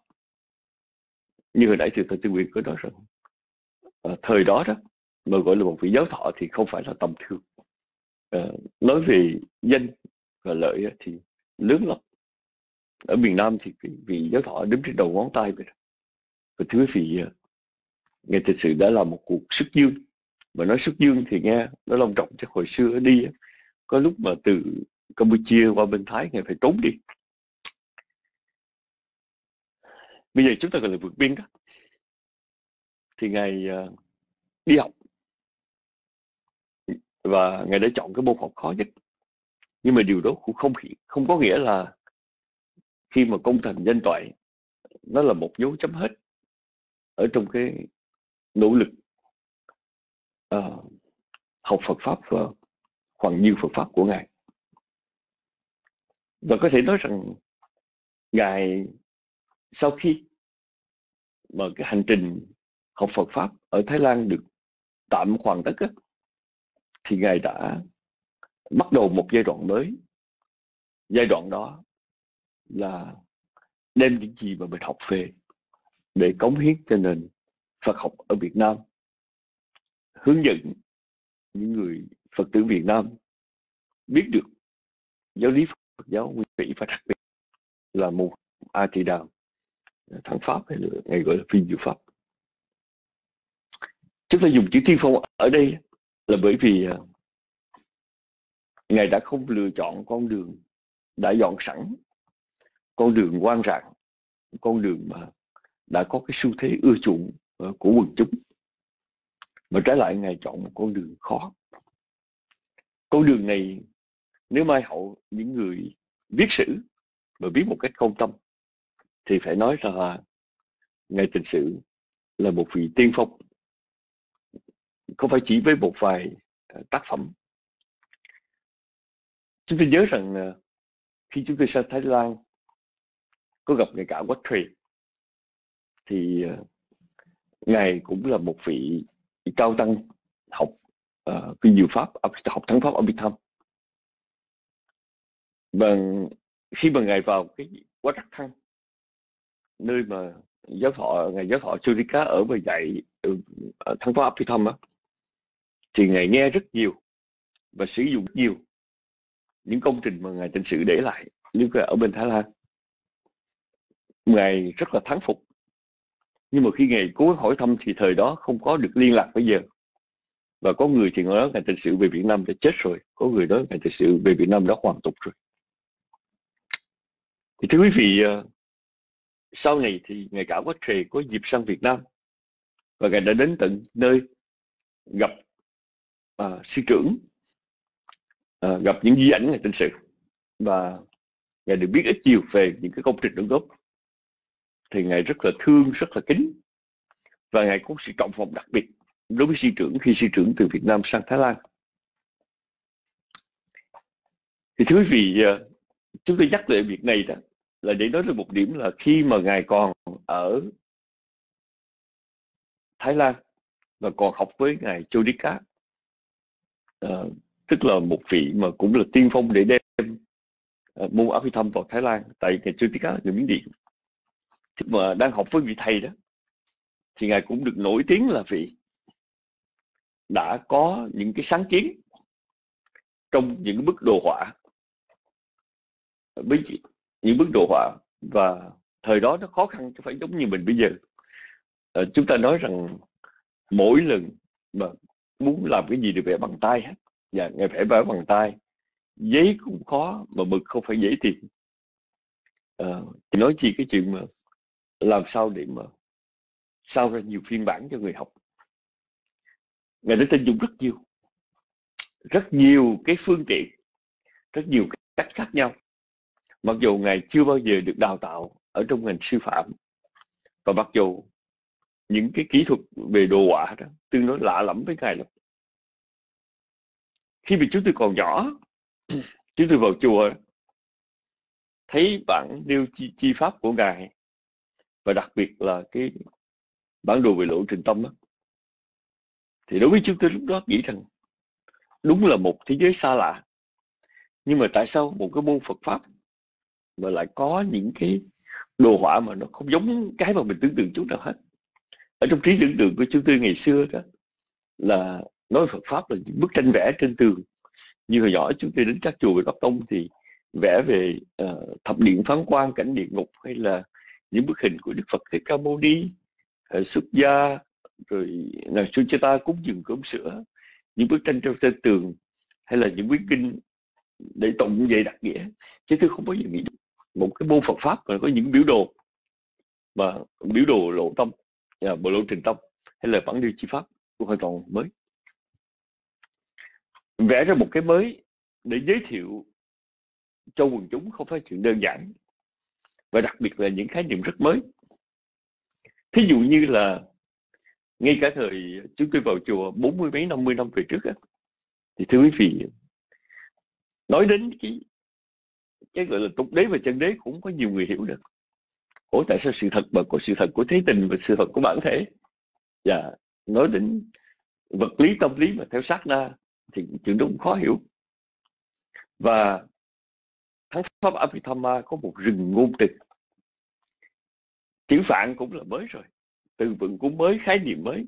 Vì dịch sang chữ việt thì thật ra, chúng tôi nhớ là lúc ở ngày tịnh sự thì ngày thay đổi không biết bao nhiêu lần. Thí dụ như là uh, ban đầu thì ngày uh, dịch là ờ, tâm thực về sau là động lực động tốc hay là ban đầu là tâm hạnh rồi tâm tâm tố có lúc sẽ tâm di tác hay là ban đầu tâm mót rồi sau này uh, thập di rồi na cảnh vật uh, ngài ngài phải uh, chắc lựa chọn rất nhiều chữ. Có khi lấy về văn có khi lấy về nghĩa có khi lấy về cái tính cách là phổ thông nhiều cái nhiều cái phương cách khác nhau. Môn áp phi thâm không phải là môn dễ. Trên phương diện văn trên phương diện khái niệm và kể cả phương diện trình bày môn nào cũng lạ lẫm cũng đầy dẫy những cái mới. Và nhiều khi uh, uh, có những điều mà một người bình thường ngay cả chư tăng xuất gia đó, đã quen với kinh tạng mà học hồi đó thì cũng tự hỏi là không biết mình học để làm cái gì. Dạ, không biết mình học để làm cái gì đối với những đối với môn này. Thì thưa quý vị ngài vượt qua tất cả. Ngài chấp nhận một cuộc sống vô cùng giản dị. À, suốt cuộc đời mà chúng tôi ở với quen với ngài và chúng tôi biết là ngài ít bao giờ mà có thì giờ để nghĩ đến là làm sao tạo cho mình có cơ ngơi đồ sộ, hay là làm sao cho mình được thành danh, được nhiều người biết đến, hoặc giả là tích trữ tiền bạc, có một cái tài sản tương đối lớn không có. Điều mà ngày thức dậy từ buổi sáng sớm cho đến buổi tối đó là luôn luôn nghĩ về Phật pháp, và trong đó là mô Abhidhamma ban đầu là những cái đồ biểu những cái từ vựng những bộ sách như là uh, bộ bộ sơ đẳng trung đẳng cao đẳng của vi diệu pháp. Rồi uh, cố gắng để dịch một cách rất là ngắn gọn uh, theo cái thơ lục bát như là diệu pháp lý hợp là một cái chữ ngữ của ngài từ uh, quỷ Abhidhamma Sangha ngày Anuruddha ngày đã làm gọn rồi ngày tại sự vẫn làm gọn hơn nữa. Và thứ phi có lẽ là khó có ai tưởng tượng và có ai dám nghĩ đến cái chuyện dịch tạng tạng pháp Abhidhamma người Tây phương là giỏi về vấn đề là lao vào con đường uh, tiên phong trong những lịch được lắm nhưng mà cho đến nay thì chúng ta vẫn chưa có được một cái bộ Abhidhamma dịch sang tiếng sang tiếng Anh mà đúng nghĩa như là uh, kinh tạng và lục tạng. Ngài tiến sĩ làm việc đó. Ngài làm việc đó mà có đôi lúc thưa quý vị. Chúng tôi nói to cho đến ngày hôm nay những tác phẩm vĩ đại của ngài như là công trình phiên dịch bộ Mahabharata bộ Phật thú mà ngài gọi là bộ vị trí thì chúng tôi cam đoan với quý vị rằng cái người Việt Nam Phật tử Việt Nam chư tăng Việt Nam tất cả mà có thể đọc và đọc một cách tương đối đó. Không phải đếm trên đầu ngón tay của hai bàn tay, đếm trên đầu ngón tay của năm, của một bàn tay đó. Dạ. để cầm cùi. Chịu khó. Dịch thuật. Ngài không bao giờ, khi ngài làm việc gì đó, mà ngài mong cầu rằng à mình làm việc này để người ta biết đến mình. Nếu muốn ta biết đến mình, làm những chuyện gì cho người ta thích việc còn làm cái chuyện mà người ta thấy khó quá thì không không thể biết đến mình được. Và người ta làm cái gì á, để được tiêu thụ nhiều, để được đọc nhiều, chứ không phải làm việc gì chỉ là một sự cống hiến, một điều mà người khác không cống hiến. Là một việc mà ít con người dám dấn thân vào, người ta làm như vậy. Thưa quý vị à, lịch sử của nhân loại không phải bắt đầu bằng sự hiển hách, bằng những thành công vang dội mà lịch sử nhân loại bắt đầu từ những con người dám làm dám dấn thân dám mạo hiểm đi vào một cái địa hình hoàn toàn xa lạ ít có người biết ít người đến. Và từ chỗ đó lập nên những điều mà thế hệ mai hậu được hưởng dụng được nhờ. Khi mà đề cập đến à, sự tiên phong trong ngành à, trong cái môn gọi là siêu lý học đó, thì thưa quý vị chúng tôi phải nói rằng từ cái việc lập chùa từ cái việc uh, uh, làm kinh thẻ tức là kinh thành thẻ và uh, qua những việc mà mở lớp dạy học mở lớp dạy đó là những điều mà ngay cả chư tăng Phật giáo Tam Tông bình thường đó, cũng ít khi bao giờ nghĩ tới. Lúc mà chúng tôi và uh, khi thượng tọa sư mà chúng tôi vào chùa đó, thưa quý vị. Chúng tôi nhớ rằng, chúng tôi chưa bao giờ nghe có trường hợp là chư tăng mở lớp Phật pháp mà dạy dài hạn. Thuyết pháp thì có, thuyết pháp lệ leo pháp tọa ngồi, thuyết pháp mũi rồi đi về thì có, là phần tử đến hỏi đạo có, nhưng mà tổ chức học có. Nhưng mà riêng ngày tịnh sử đi, ngày đi tử ngày tịnh sử thì thường làm việc đó. Sư trưởng thường làm việc đó.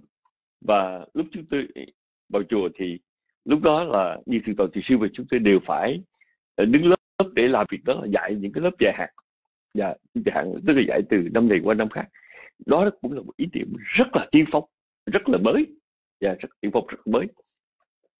Rồi ngài phải cố gắng làm sao mà chắc lọc ở trong tam tạng ra những cái uh, ý niệm những cái uh, đề tài rất là gãy gọn. Ví dụ như những thông lệ của chư Phật và uh, điều này điều kia in thành những cái mà ngày nay chúng ta gọi là flashcard tức là kinh thẻ. Yeah. Chúng tôi cũng chưa có bao giờ thấy được cái chuyện đó cho đến sau này khi sang Mỹ đó mới thấy rằng có những điều có thể tóm tắt ngắn gọn viết trong một cái flashcard nhỏ nhỏ để đọc. Uh, để đều mang theo tiện nhớ. Thì điều đó là ngài thực sự đã làm từ xưa rất xưa. Xưa cái thời mà bản thân của chúng tôi chưa đẻ ra được chưa được cha mẹ sinh ra nữa thì ngài đã làm công việc phát làm in cái đó.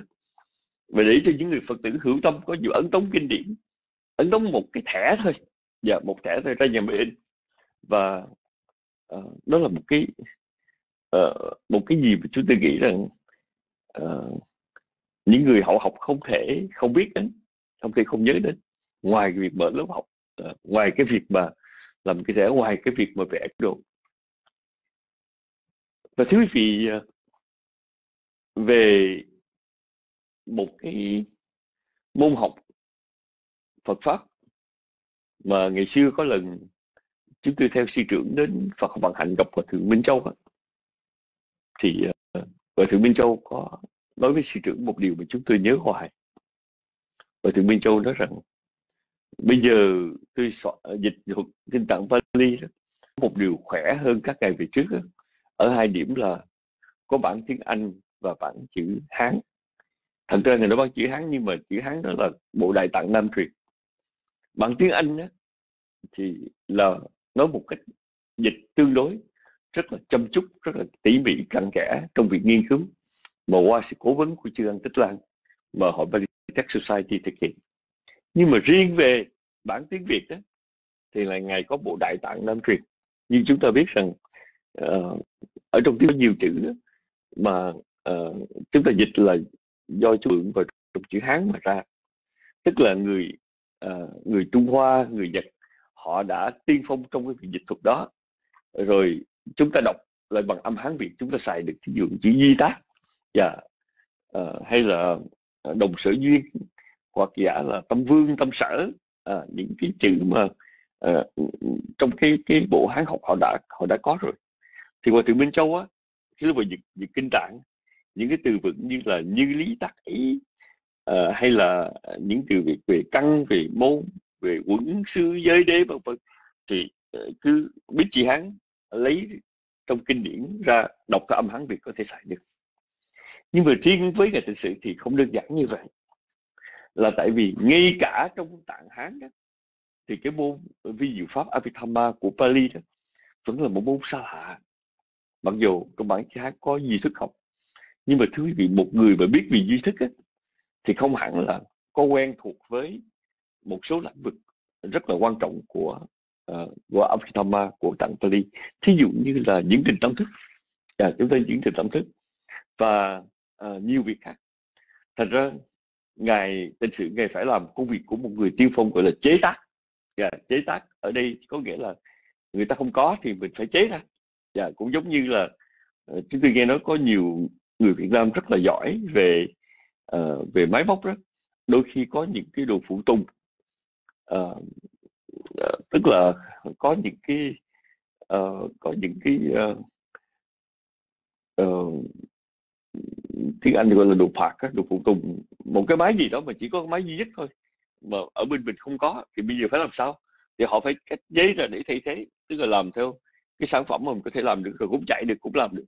Thì ngành tinh sinh phải làm như vậy. Dạ bây giờ ờ, cái chữ chữ Pali mà qua tiếng, qua qua tiếng Việt là chữ Hán khó quá.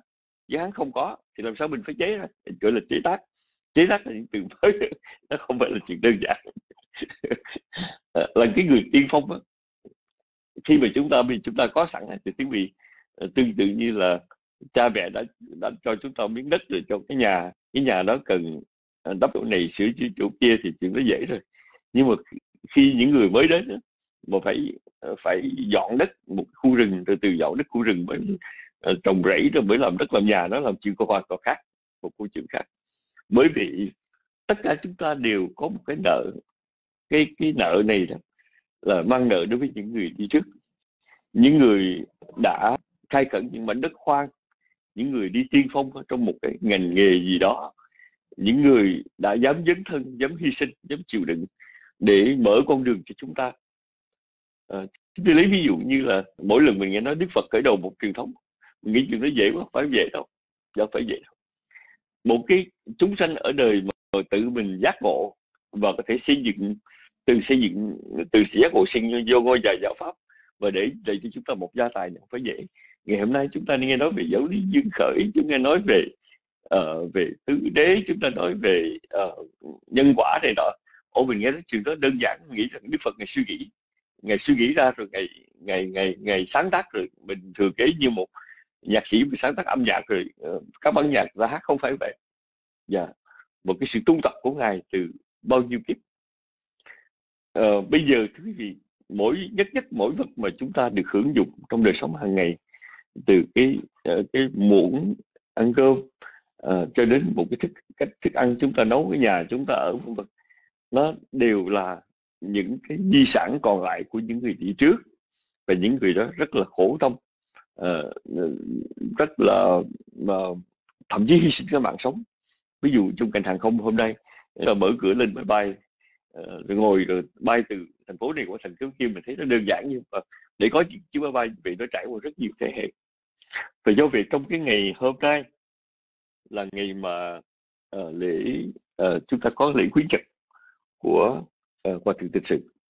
Xin tất cả chúng ta cùng nhau để ghi nhớ về một bậc thầy, một bậc tôn sư, một người tiên phong ở trong lĩnh vực này. Ngài đã cho chúng ta quá nhiều, cho chúng ta những thứ mà có thể là nếu không có Ngài thì không phải cá nhân chúng ta mà Phật học Việt Nam cũng không có được những thứ đó. Tiếp theo thưa quý vị, chúng tôi muốn thỉnh Thượng tọa Pháp Tân. Không biết Thượng tọa Tân có mặt ở trước máy không? nếu tọa từng đang có mặt xin thượng tọa khoan hỷ nói cho vài lời à, điều mà chúng ta muốn nói hôm nay là một cái công hạnh ngài tên sự thì ngài có nhiều điều để chúng ta học lắm nhưng một cái công mà tất cả chúng ta đều nên nhớ về ngài tên sự đó là ngài đã uh, ngài đã uh, để cho chúng ta những cái gợi ý những cái gương uh, những điều mà không phải chỉ chỉ chuyện học thuật mà ngay cả trong đời sống của ngài đó là công trình để cất chùa gọi là chùa tứ phương tăng ngày hôm nay rất nhiều đệ tử và tịnh sự khi mà uh, học theo ngài nhớ nghĩ về ngài đã lập ra những cái ngôi chùa tứ phương tăng cái cái ngôi chùa tứ phương là là chùa gì? Và mang ý nghĩa như thế nào? Thì ờ, chúng ta rất nên biết nếu chúng ta nghĩ về ngài là về đệ tử ngài dường như là thượng tọa hấp Tân không có mặt ở trước máy, phải không quý vị hả? Có vị nào biết được thượng tọa hấp Tân có đưa tay không? Nếu quý vị thấy, quý vị quan hỷ cho chúng tôi biết. Ồ dạ chắc để thỉnh thượng tọa từ siêu quan hỷ thượng tọa nói về điểm này, kính cung thỉnh thượng tọa từ siêu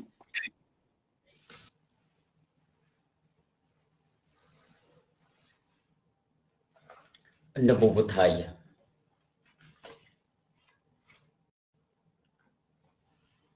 Vì thượng tọa Pháp Tân không có mặt trước máy. Nên chúng tôi ờ, tình nguyện đưa tay để ờ, nói cái vấn đề này.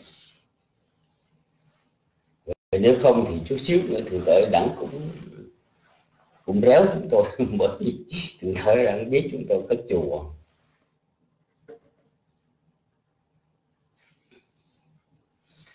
À, kính thưa quý vị.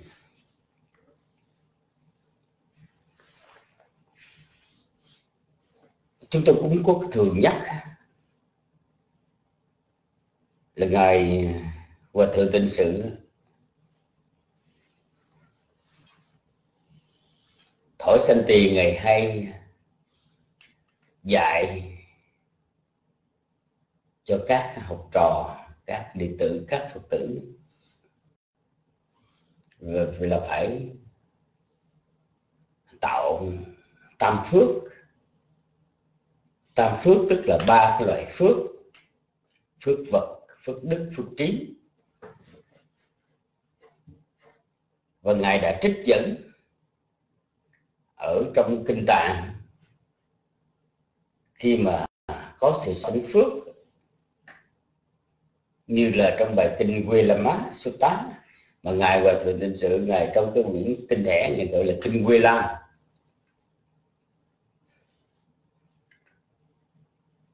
thì nói đến cái phước ờ, vật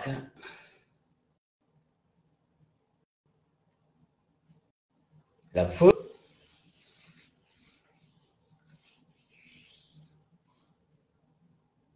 được thành tựu do bố thí cũng dường về vật chất.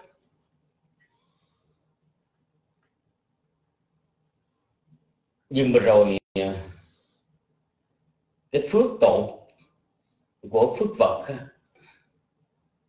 là có chùa tứ hương tăng. Phước đức thành tựu là do sự giữ giới. Nhưng mà phước tổ trong cái phước đức là tu tập tâm từ. Rồi phước tột ở trong phước trí là quán vô thường. Thì ngài chỉ nhắc nhở các chùa tướng tâm là phước tột của phước phật. Tu tâm từ là phước tột của phước đức. Và quán vô thường là phước tột của phước trí là dạy đơn giản như vậy thôi. Như vậy chúng ta rất là dễ hiểu. Và ở đây thưa quý vị, bây giờ chúng ta lại nói đến cái hạnh mà các chùa tứ phương tăng của ngài. Gọi là chùa tứ phương tăng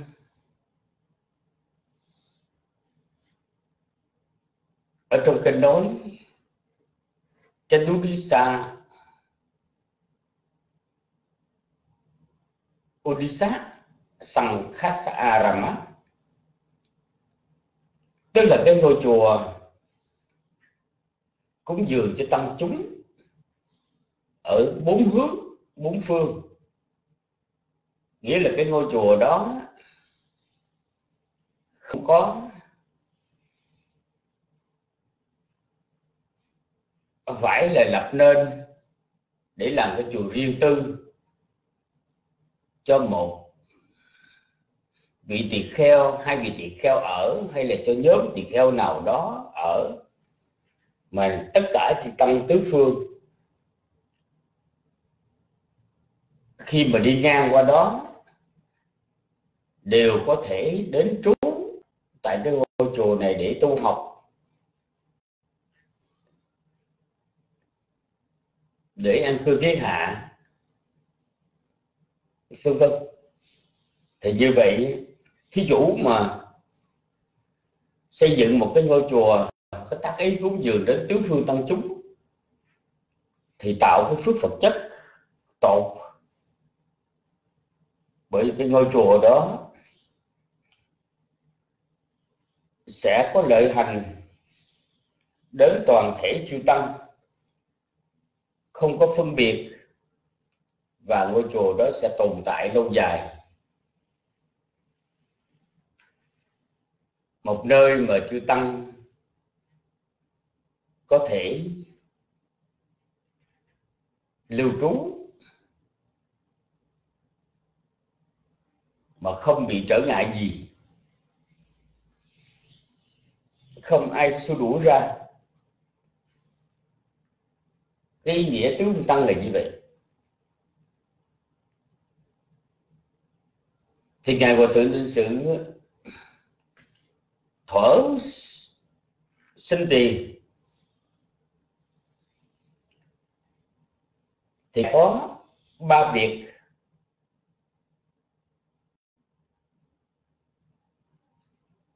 Mà chúng tôi nói như ngài thiết lập cái truyền thống của ngài đấy một là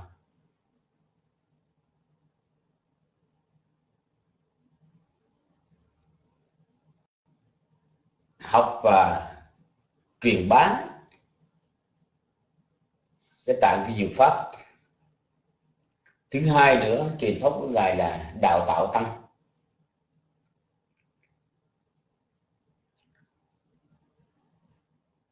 Thứ ba là xây dựng chùa tứ phương tăng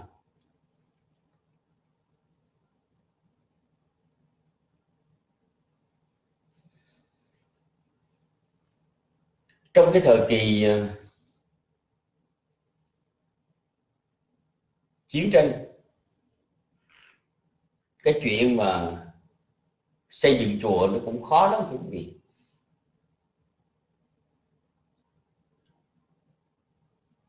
Rồi sau năm 75 cũng vậy cũng khó lắm. Nhưng mà hình như ngài và tự tin sự, ngài có cái sự khâm nhẫn trước những cái khó khăn đó.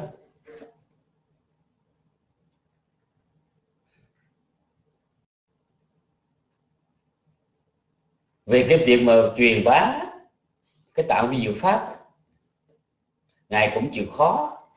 Ngài chịu khó, chịu cực lắm. Cái việc mà cho tu, cho xuất gia dù gặp cái hoàn cảnh khó khăn người ta không có, dễ dàng chấp nhận cho cái người xuất gia trong cái thời kỳ sau 75 nhưng mà hễ ở đâu, có giới tử muốn vào xuất gia thì hãy thỉnh ngài là ngài sẵn sàng. Đi đến và truyền giới xuất gia cho những giới tử đó. Rồi có chùa tướng như tân về. Biết nó khó, nhưng mẹ ở chỗ nào mà người ta phát tâm, người ta muốn hiến cho ngài để có chùa, thì ngài đi đến đó.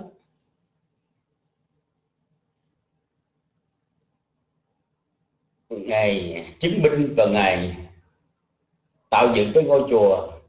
Dầu cho buổi đầu thì chỉ đơn sơ thôi thưa quý vị.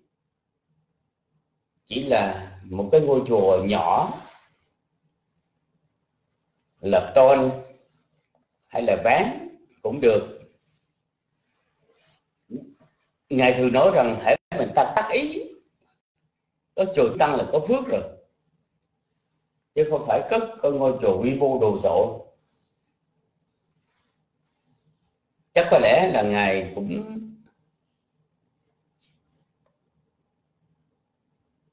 biết cái thời thế chứ hơn nữa ngài đặt trọng tâm nhiều hơn là cái việc mà nghiên cứu, dịch soạn và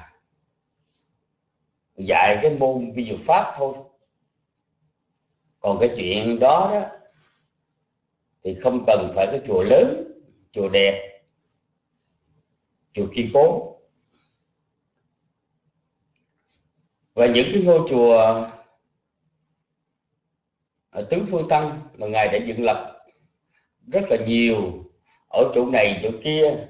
Nhưng mà cuối cùng thì như bây giờ chúng ta cũng vẫn còn lại một số ngôi chùa như ở Vĩnh Long thì có chùa chùa Vinh Giác là chùa gốc của ngài. Ngài cúng dường cho tứ tăng phải rồi. Còn cái chùa Sư Lý, ngài cũng mở mang. Chùa Sư Lý ở Vĩnh Long hay chùa Sư Lý ở Sài Gòn. Đó cũng là ngôi chùa tứ tăng.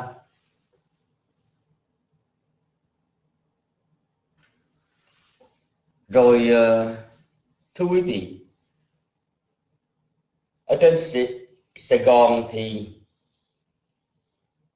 ở chỗ này chỗ kia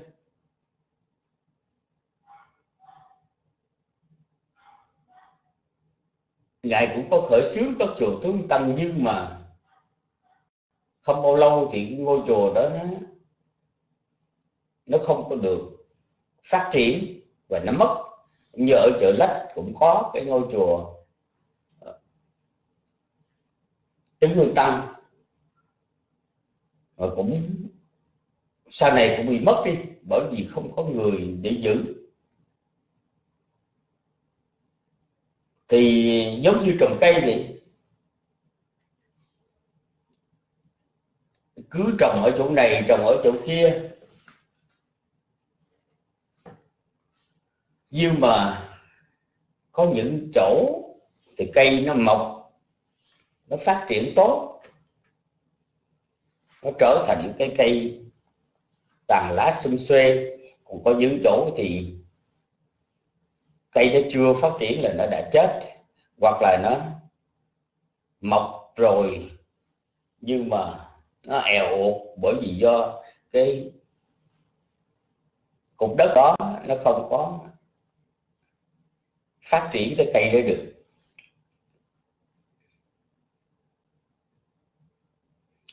mặc dù là vậy,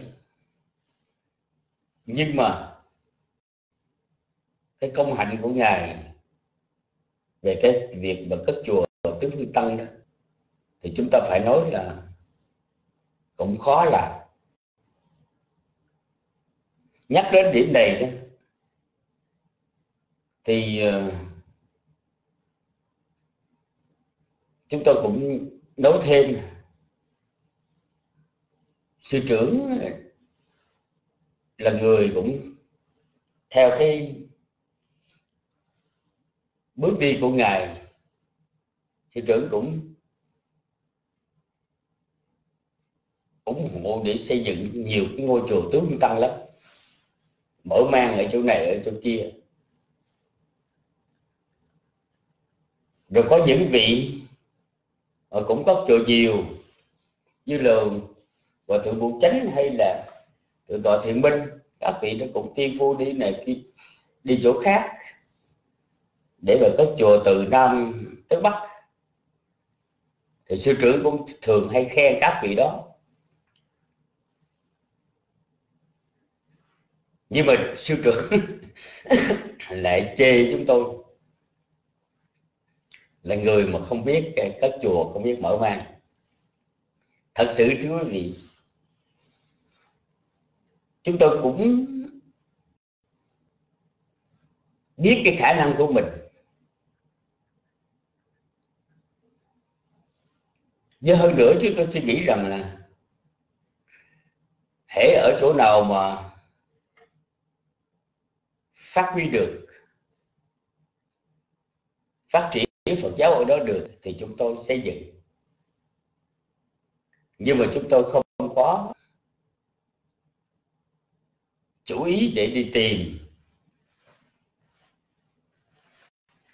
Cái ngôi chùa để cất cho nhiều. Cất xong rồi bỏ đó cổ trống đó. Chúng tôi thì lại làm mất cái truyền thống của ngài và thượng. Là vì chúng tôi không có chủ trương cái vấn đề này, nhưng mà chúng tôi lại chủ trương cái vấn đề là tiếp nối cái sự nghiệp duy trì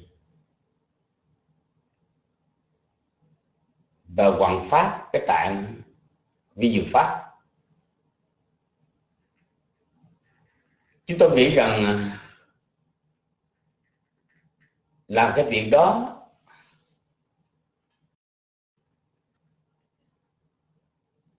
nó cũng tạo cái phước trí.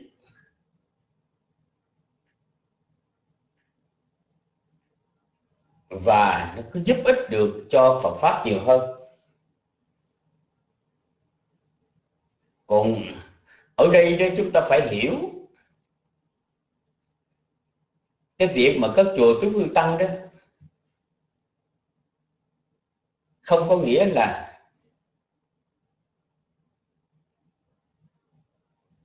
rất nhiều ngôi chùa ở chỗ này, ở chỗ kia.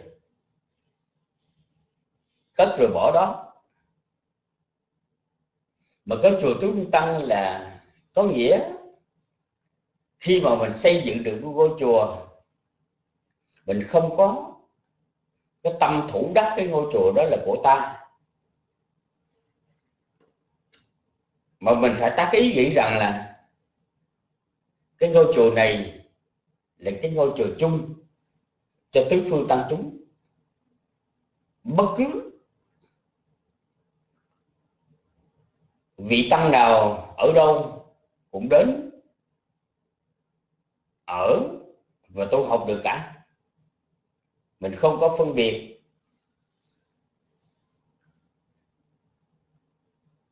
Cho nên những cái ngôi chùa mà chúng tôi ờ, gìn giữ chúng tôi xây dựng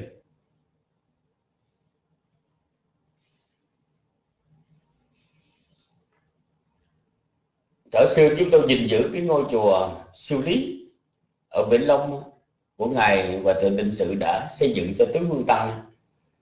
Thì lúc đó, chư Tăng Khmer, các vị ở các miền Trà Vinh, ở các quận huyện Trà Vinh, các vị đã lên tu học. Có nhiều vị ở hai mươi mấy, ba chục năm cũng ở được bình thường. Thì cái đó là cái ý nghĩa gọi là chùa tiếu nguyên tâm. Chứ không có nghĩa là chúng tôi nghĩ rằng không có nghĩa là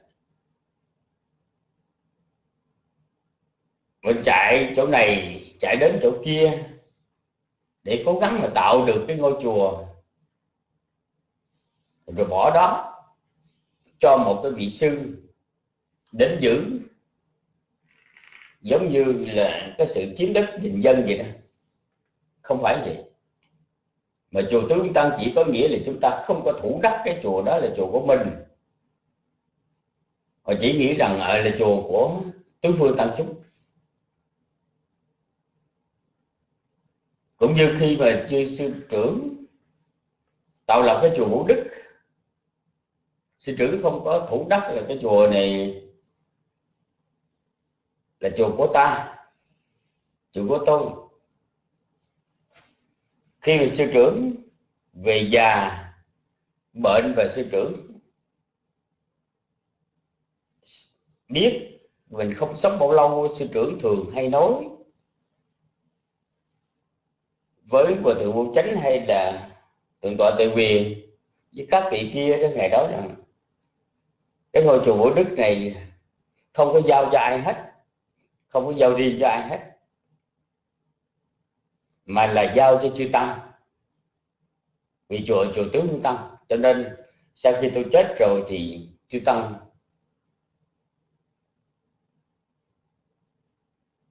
họp lại quyết định xem có đề cử vị nào để làm trụ trì.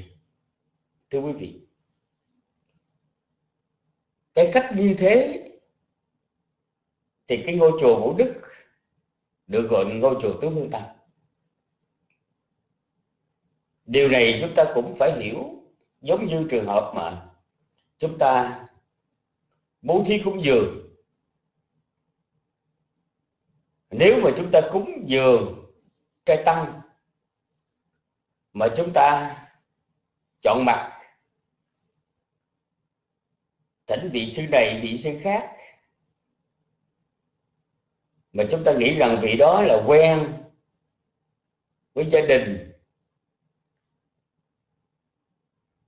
Chúng con cảm mến vị đó, cho nên thỉnh vị đó về để chơi tăng.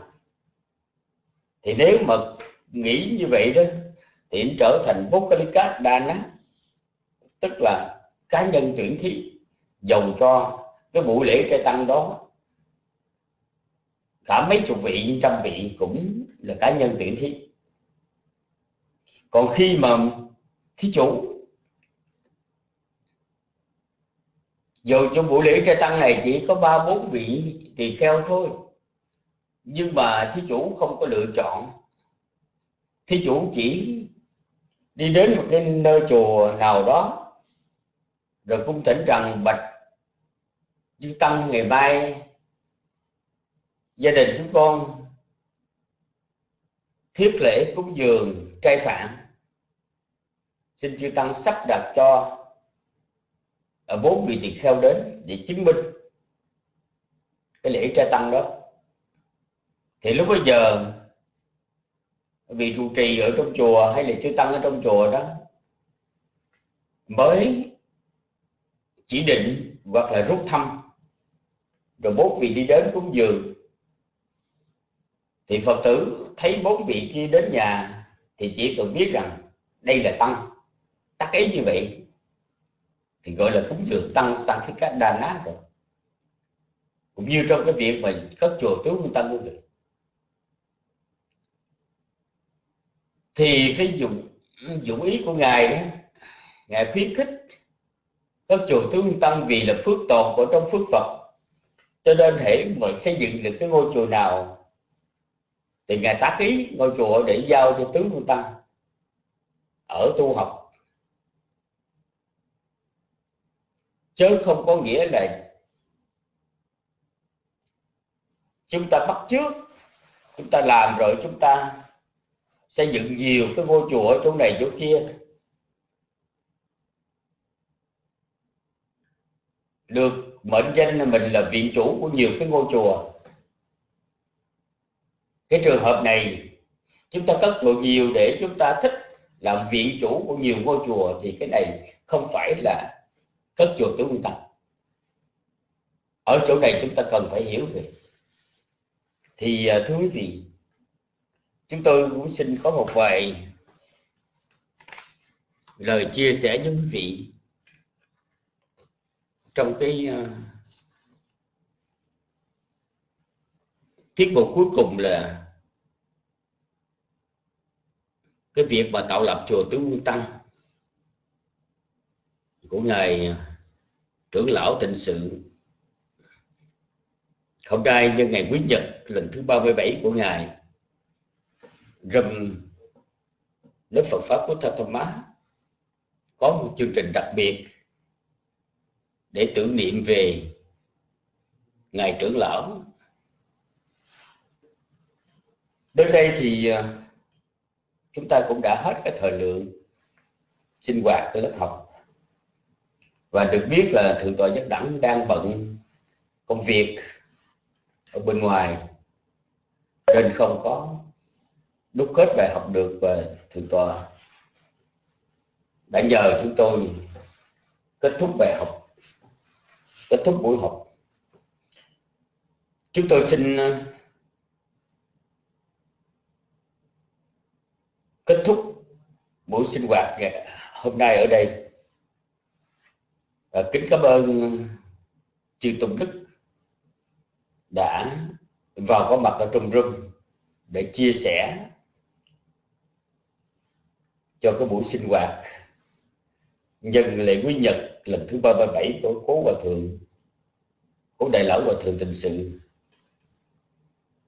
Và kính chúc với ngài, quý phật tử, quý tu nữ, luôn luôn được an vui, khỏe mạnh. Một ngày được an lạc hay là một đêm được an lành? Nam mô vô thầy dạ. và bây giờ kính mời phật tử mc lên hội phước và đâm rung.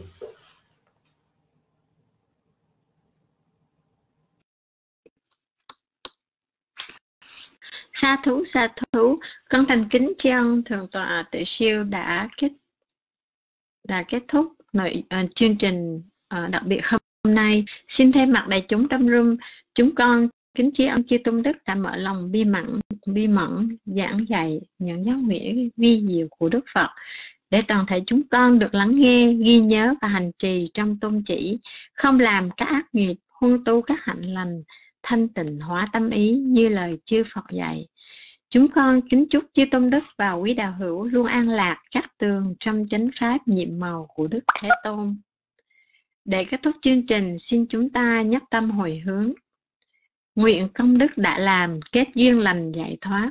Nguyện hồi hướng chư thiên, hàng thiện thần, hộ pháp. Nguyện các bậc hữu ân, đồng thừa tư công đức. Nguyện chánh pháp trường tồn, chúng sanh cầu giải thoát Nam mô Bụt Thầy giá. Yang